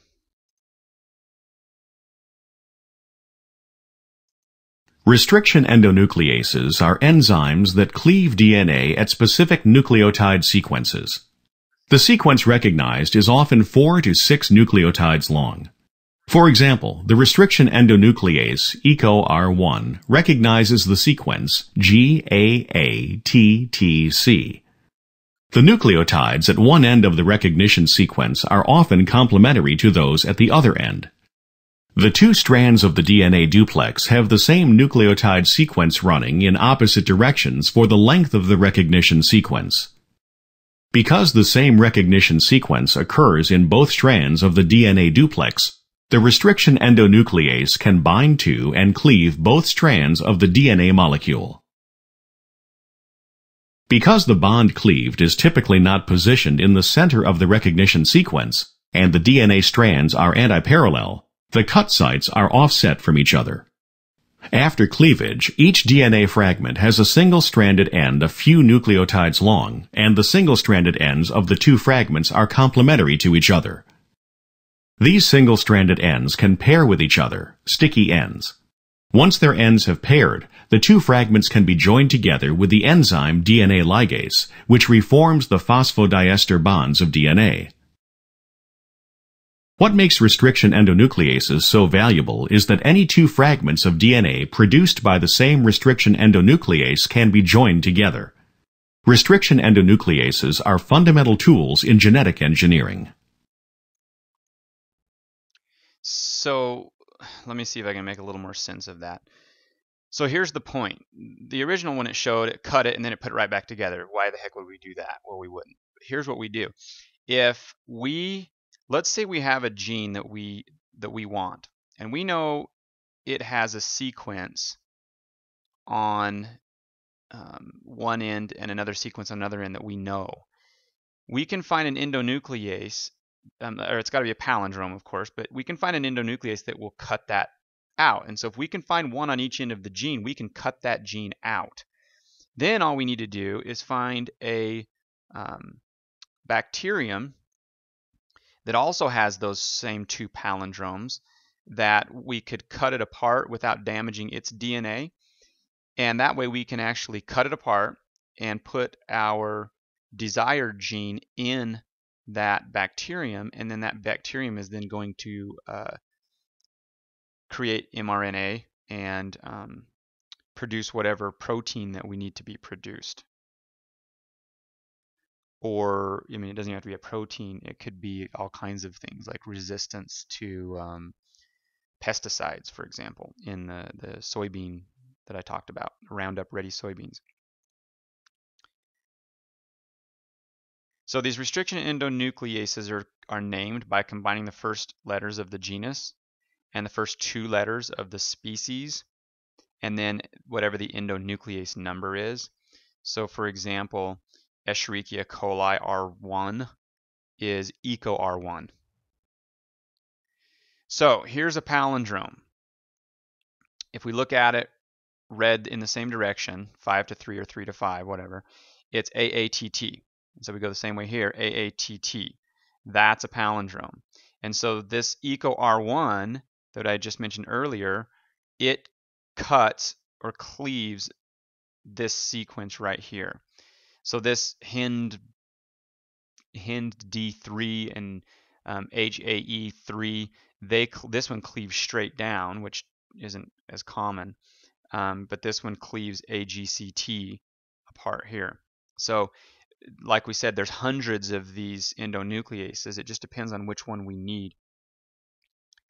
So they cut this four to five bases from the three prime to the five prime direction and leaves these overhangs. And those overhangs, as this shows right here, are what they call sticky ends because they want to stick either back to themselves or to this, here's the piece of DNA that we want to um, splice into it. Um, it will stick on either end of that as well. So either DNA fragments or plasmids. So the pieces of DNA that we actually create from a um, restriction endonuclease are called restriction fragments. So this right here would be a restriction fragment that we're going to replace into the chromosome of this organism number two. Restriction fragment length polymorphisms, that's a big long word, but if you break it down, it's not that hard to understand. Poly means many, morph means form, right? And these are just the differences in cutting patterns of the different endonucleases. So they actually give uh, different lengths of the um, fragments and allow us to be able to compare from with known DNA lengths um, with unknown DNA lengths. So ligase, we've mentioned lots of times. Um, this is what seals the ends back together. So it splices the nicks, right? Reverse transcriptase um, is an enzyme that I don't think we've talked about. We have mentioned some organisms that use it, but we, I don't think we've discussed it. Um, reverse transcriptase, this is used in these retroviruses like the AIDS virus, and it converts RNA to DNA. And so what they use reverse transcriptase for in the lab um, is to make what's called cDNA, which is complementary DNA. So it's DNA made from RNA. So it's just that's they just call it cDNA. So it could be mRNA, tRNA, RNA, or any other kind of RNA. You're just going backwards. And so anywhere you're making an opposite or a mirror image of an RNA, and wherever you see a U um, on the RNA, you would see an A on the DNA, right? So they use this cDNA to synthesize eukaryotic genes that don't have any introns in them. So they don't need the mechanisms that um, take the introns out before they can create a, a the trans uh, translation of it. So how do they analyze this DNA? There's this thing that uh, was discovered, I think, also in the 70s, um, called gel electrophoresis, um, because it uses a, a gel agar and electricity. What it does, and that's what you're looking at over there on the picture, is it produces a readable pattern from the DNA fragments. So they put the samples of DNA in these little wells right here. And then they run electrical current through it. And because of the phosphate groups, it gives the DNA a negative charge, which causes the DNA to move toward the positive pole. So the electricity runs from positive or negative to positive, right? Um, and so these positively charged phos or negatively charged phosphates are going to move toward the positive end, and the larger fragments will move more slowly through this gel than the smaller fragments. So what you end up with is this staggering. So this fragment here would be smallest, this would be the next smallest, and so on, right? So that's how we know the lengths of these things.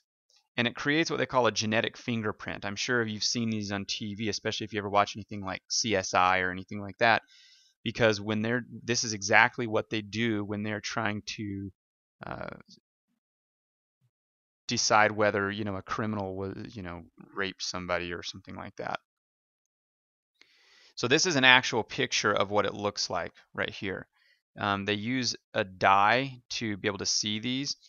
And so, as I mentioned, the smaller um, the DNA, the further it's going to go. And so this first well right here, they'll put known DNA sizes. So that way they can compare them. So they know if this is, you know, however many thousands of base pairs, then this one over here is going to be the same or similar in size, right?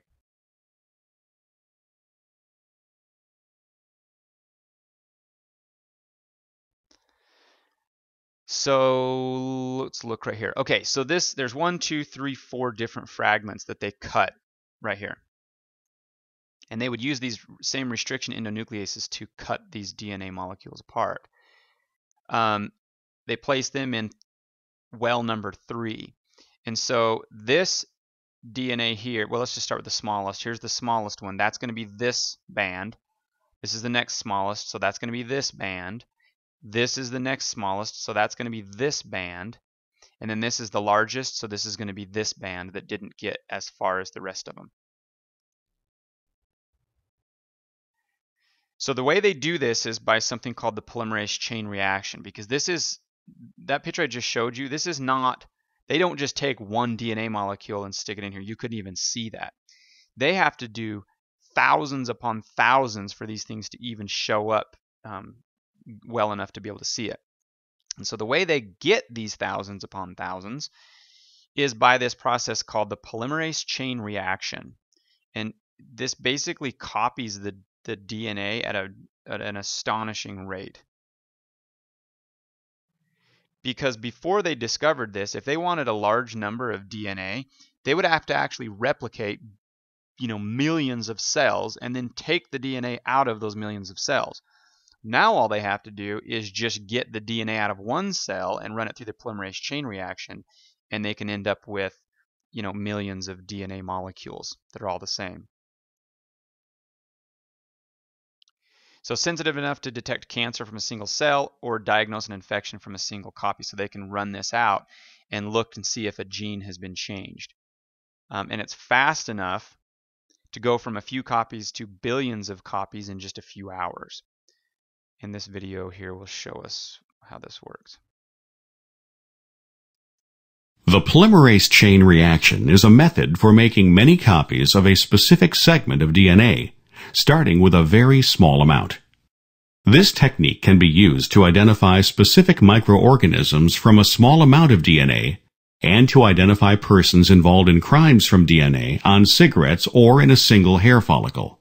The DNA to be amplified is mixed with deoxyribonucleotides, a thermal stable DNA polymerase called Taq polymerase, and DNA primers.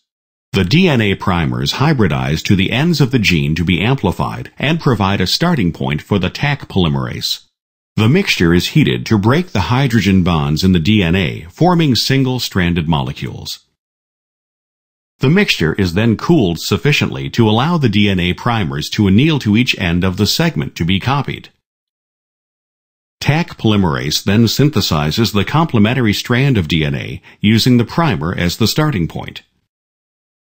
The temperature is raised again to separate the DNA strands and then lowered sufficiently to allow the primers to attach.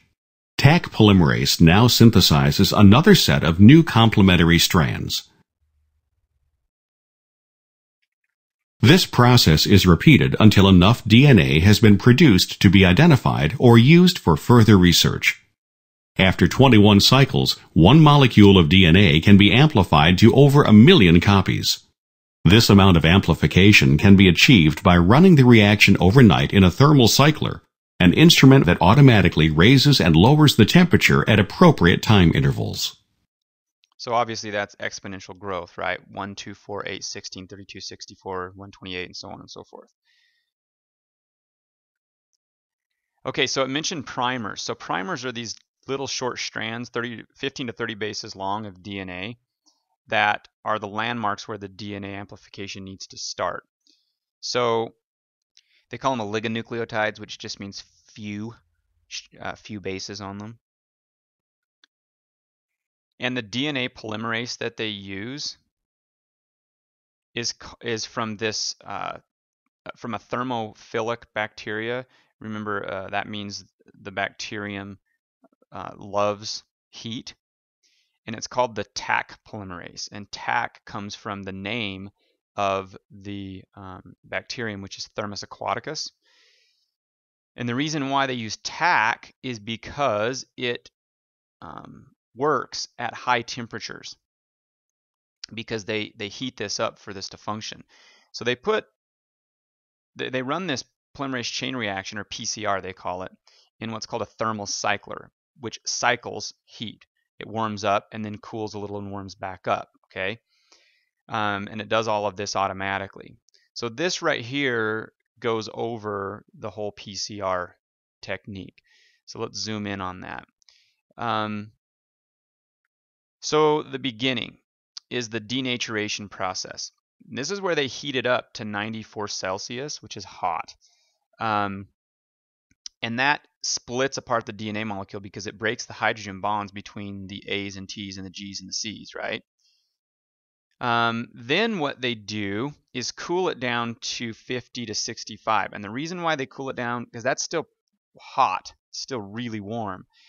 Um, they don't cool it down more than that because if they did, then this DNA molecule would go back together, and we don't want that. We want it. We want to leave it separated. So after the denaturation process, they prime it, and that's just putting these little short sequences of primers. That what they do is they they give it a place for the polymerase to start. Remember, it always has to add to the 3' prime end of the DNA molecule, so it leaves this 3' prime end free, and then we go on to the extension process, which occurs at 72 Celsius, which is hotter, so they heat it back up. Um, but that's because this uh, Taq polymerase prefers that temperature for it to function. So once it's up to that 72, the Taq polymerase will go along and attach, and so we ha we have to provide these um, nucleotides, adenine, thymine, guanine, and cytosine, to be free. And as long as we have those nucleotides present, the Taq polymerase will then go ahead and put um, the nucleotides together in the correct sequence and replicate this piece of DNA. So the piece of DNA that we're putting here will be the exact same as this piece of blue DNA. And this one here is exactly the same as this piece of red DNA. So once we're done with this process, we will end up with an, uh, doubling this original DNA right here. So moving on down to the bottom of this chart, this is what we end up with.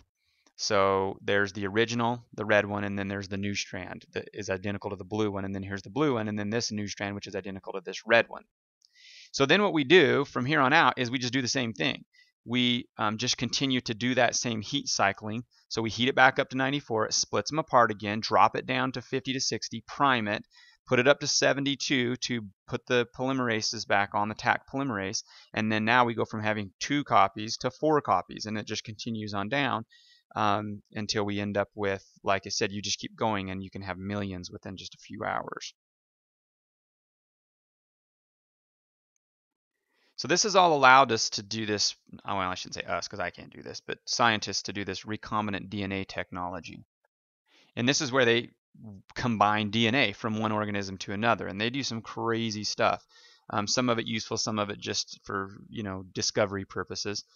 Um, but one of the things they do is they take bacteria and genetically modify them to produce things that they need in mass quantities, like hormones, enzymes, vaccines, and they can then use these as medications for people or animals or whatever. Um, so they call this genetic cloning or cloning, and this isn't necessarily cloning an organism, which they also can do that. What we're talking about is cloning genes. So they remove the gene from one animal and put it in or organism and put it into another host organism to clone it. So we use those endonucleases that we've been talking about to cut them out and splice it into the host.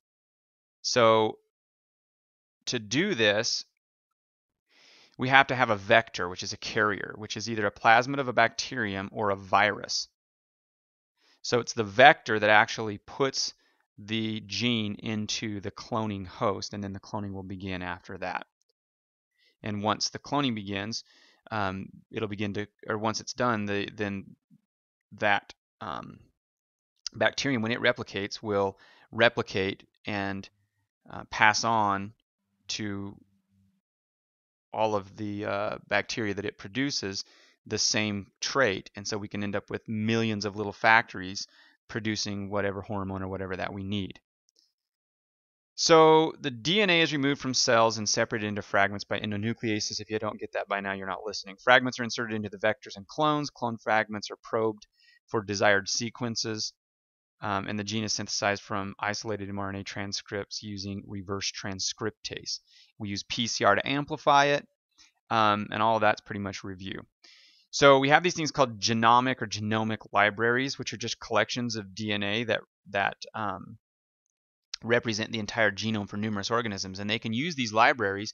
Like if you ever watch Bigfoot shows, for example, they can they say, "Oh, we found this hair and, and we think it's a Bigfoot hair. So they bring it to the lab, they isolate DNA from it, they run it through through this process, then they compare it after they look at the um, gel electrophoresis. They compare it to the known libraries and they say, nope, that's not a Bigfoot. That is the hair from a bear or whatever. That's how this whole thing works. So cloning vectors are plasmids. Um, and and they're nice because they're small, easy to manipulate, and can be transferred easily. Um, the other ones, as we mentioned, were the viruses, which are the bacteriophages, because they naturally do this. And so, as long as we get the um, DNA into the to the uh, virus, then it's going to infect another bacterium and pass it along to it. And then we can isolate the bacteria that has the correct DNA and replicate it. So can often have these drug resistant um, genes. Um, and so to isolate them, you can put them in medium that has the drug. So the ones that don't have it will obviously not survive, and the ones that do will continue. So that's how we um, select for and isolate these. So this right here is showing the basic process of gene cloning which is essentially no different from uh, when we discussed the endonucleases, because that's how this whole thing basically works, right? So we take, um, we find whatever gene we want, we cut it out, and we put it either into a chromosome or into a plasmid, right? And in this case, it's showing the plasmid. So we split this plasmid apart because we have this palindromic sequence here, and it's the same matching palindromic sequence that we have on this gene that we wanted. So we splice that gene in here. So this shows the um, plasmid with the gene in it. Well, actually, I should show you here. So here's the isolated gene, and this shows the plasmid now uh, with the gene here, the donor gene that we wanted, spliced into it. So we go ahead and we place that then into our uh, vector bacterium.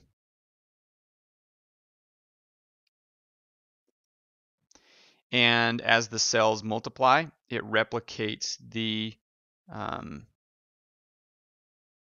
plasmid along with it. And then whatever that gene is, uh, what it's showing here is that it codes for some sort of a protein um, it will, as these cells replicate, start producing more and more and more of this protein. Then, once we have a flask full of protein, um, we can then isolate that protein, purify it, get rid of everything but the protein, and then we can use that protein, something like maybe insulin, for example, and then use it uh, for, for a medication.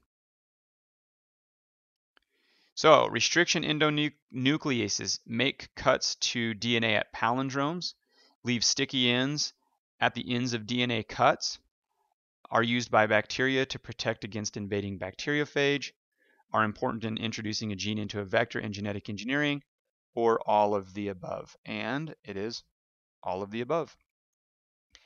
Wow, 176 slides. So that was chapter 8. So good luck with that. Make sure you study hard. This is going to be a little bit difficult, um, but you guys are in a program that tells me that you obviously are able to do it.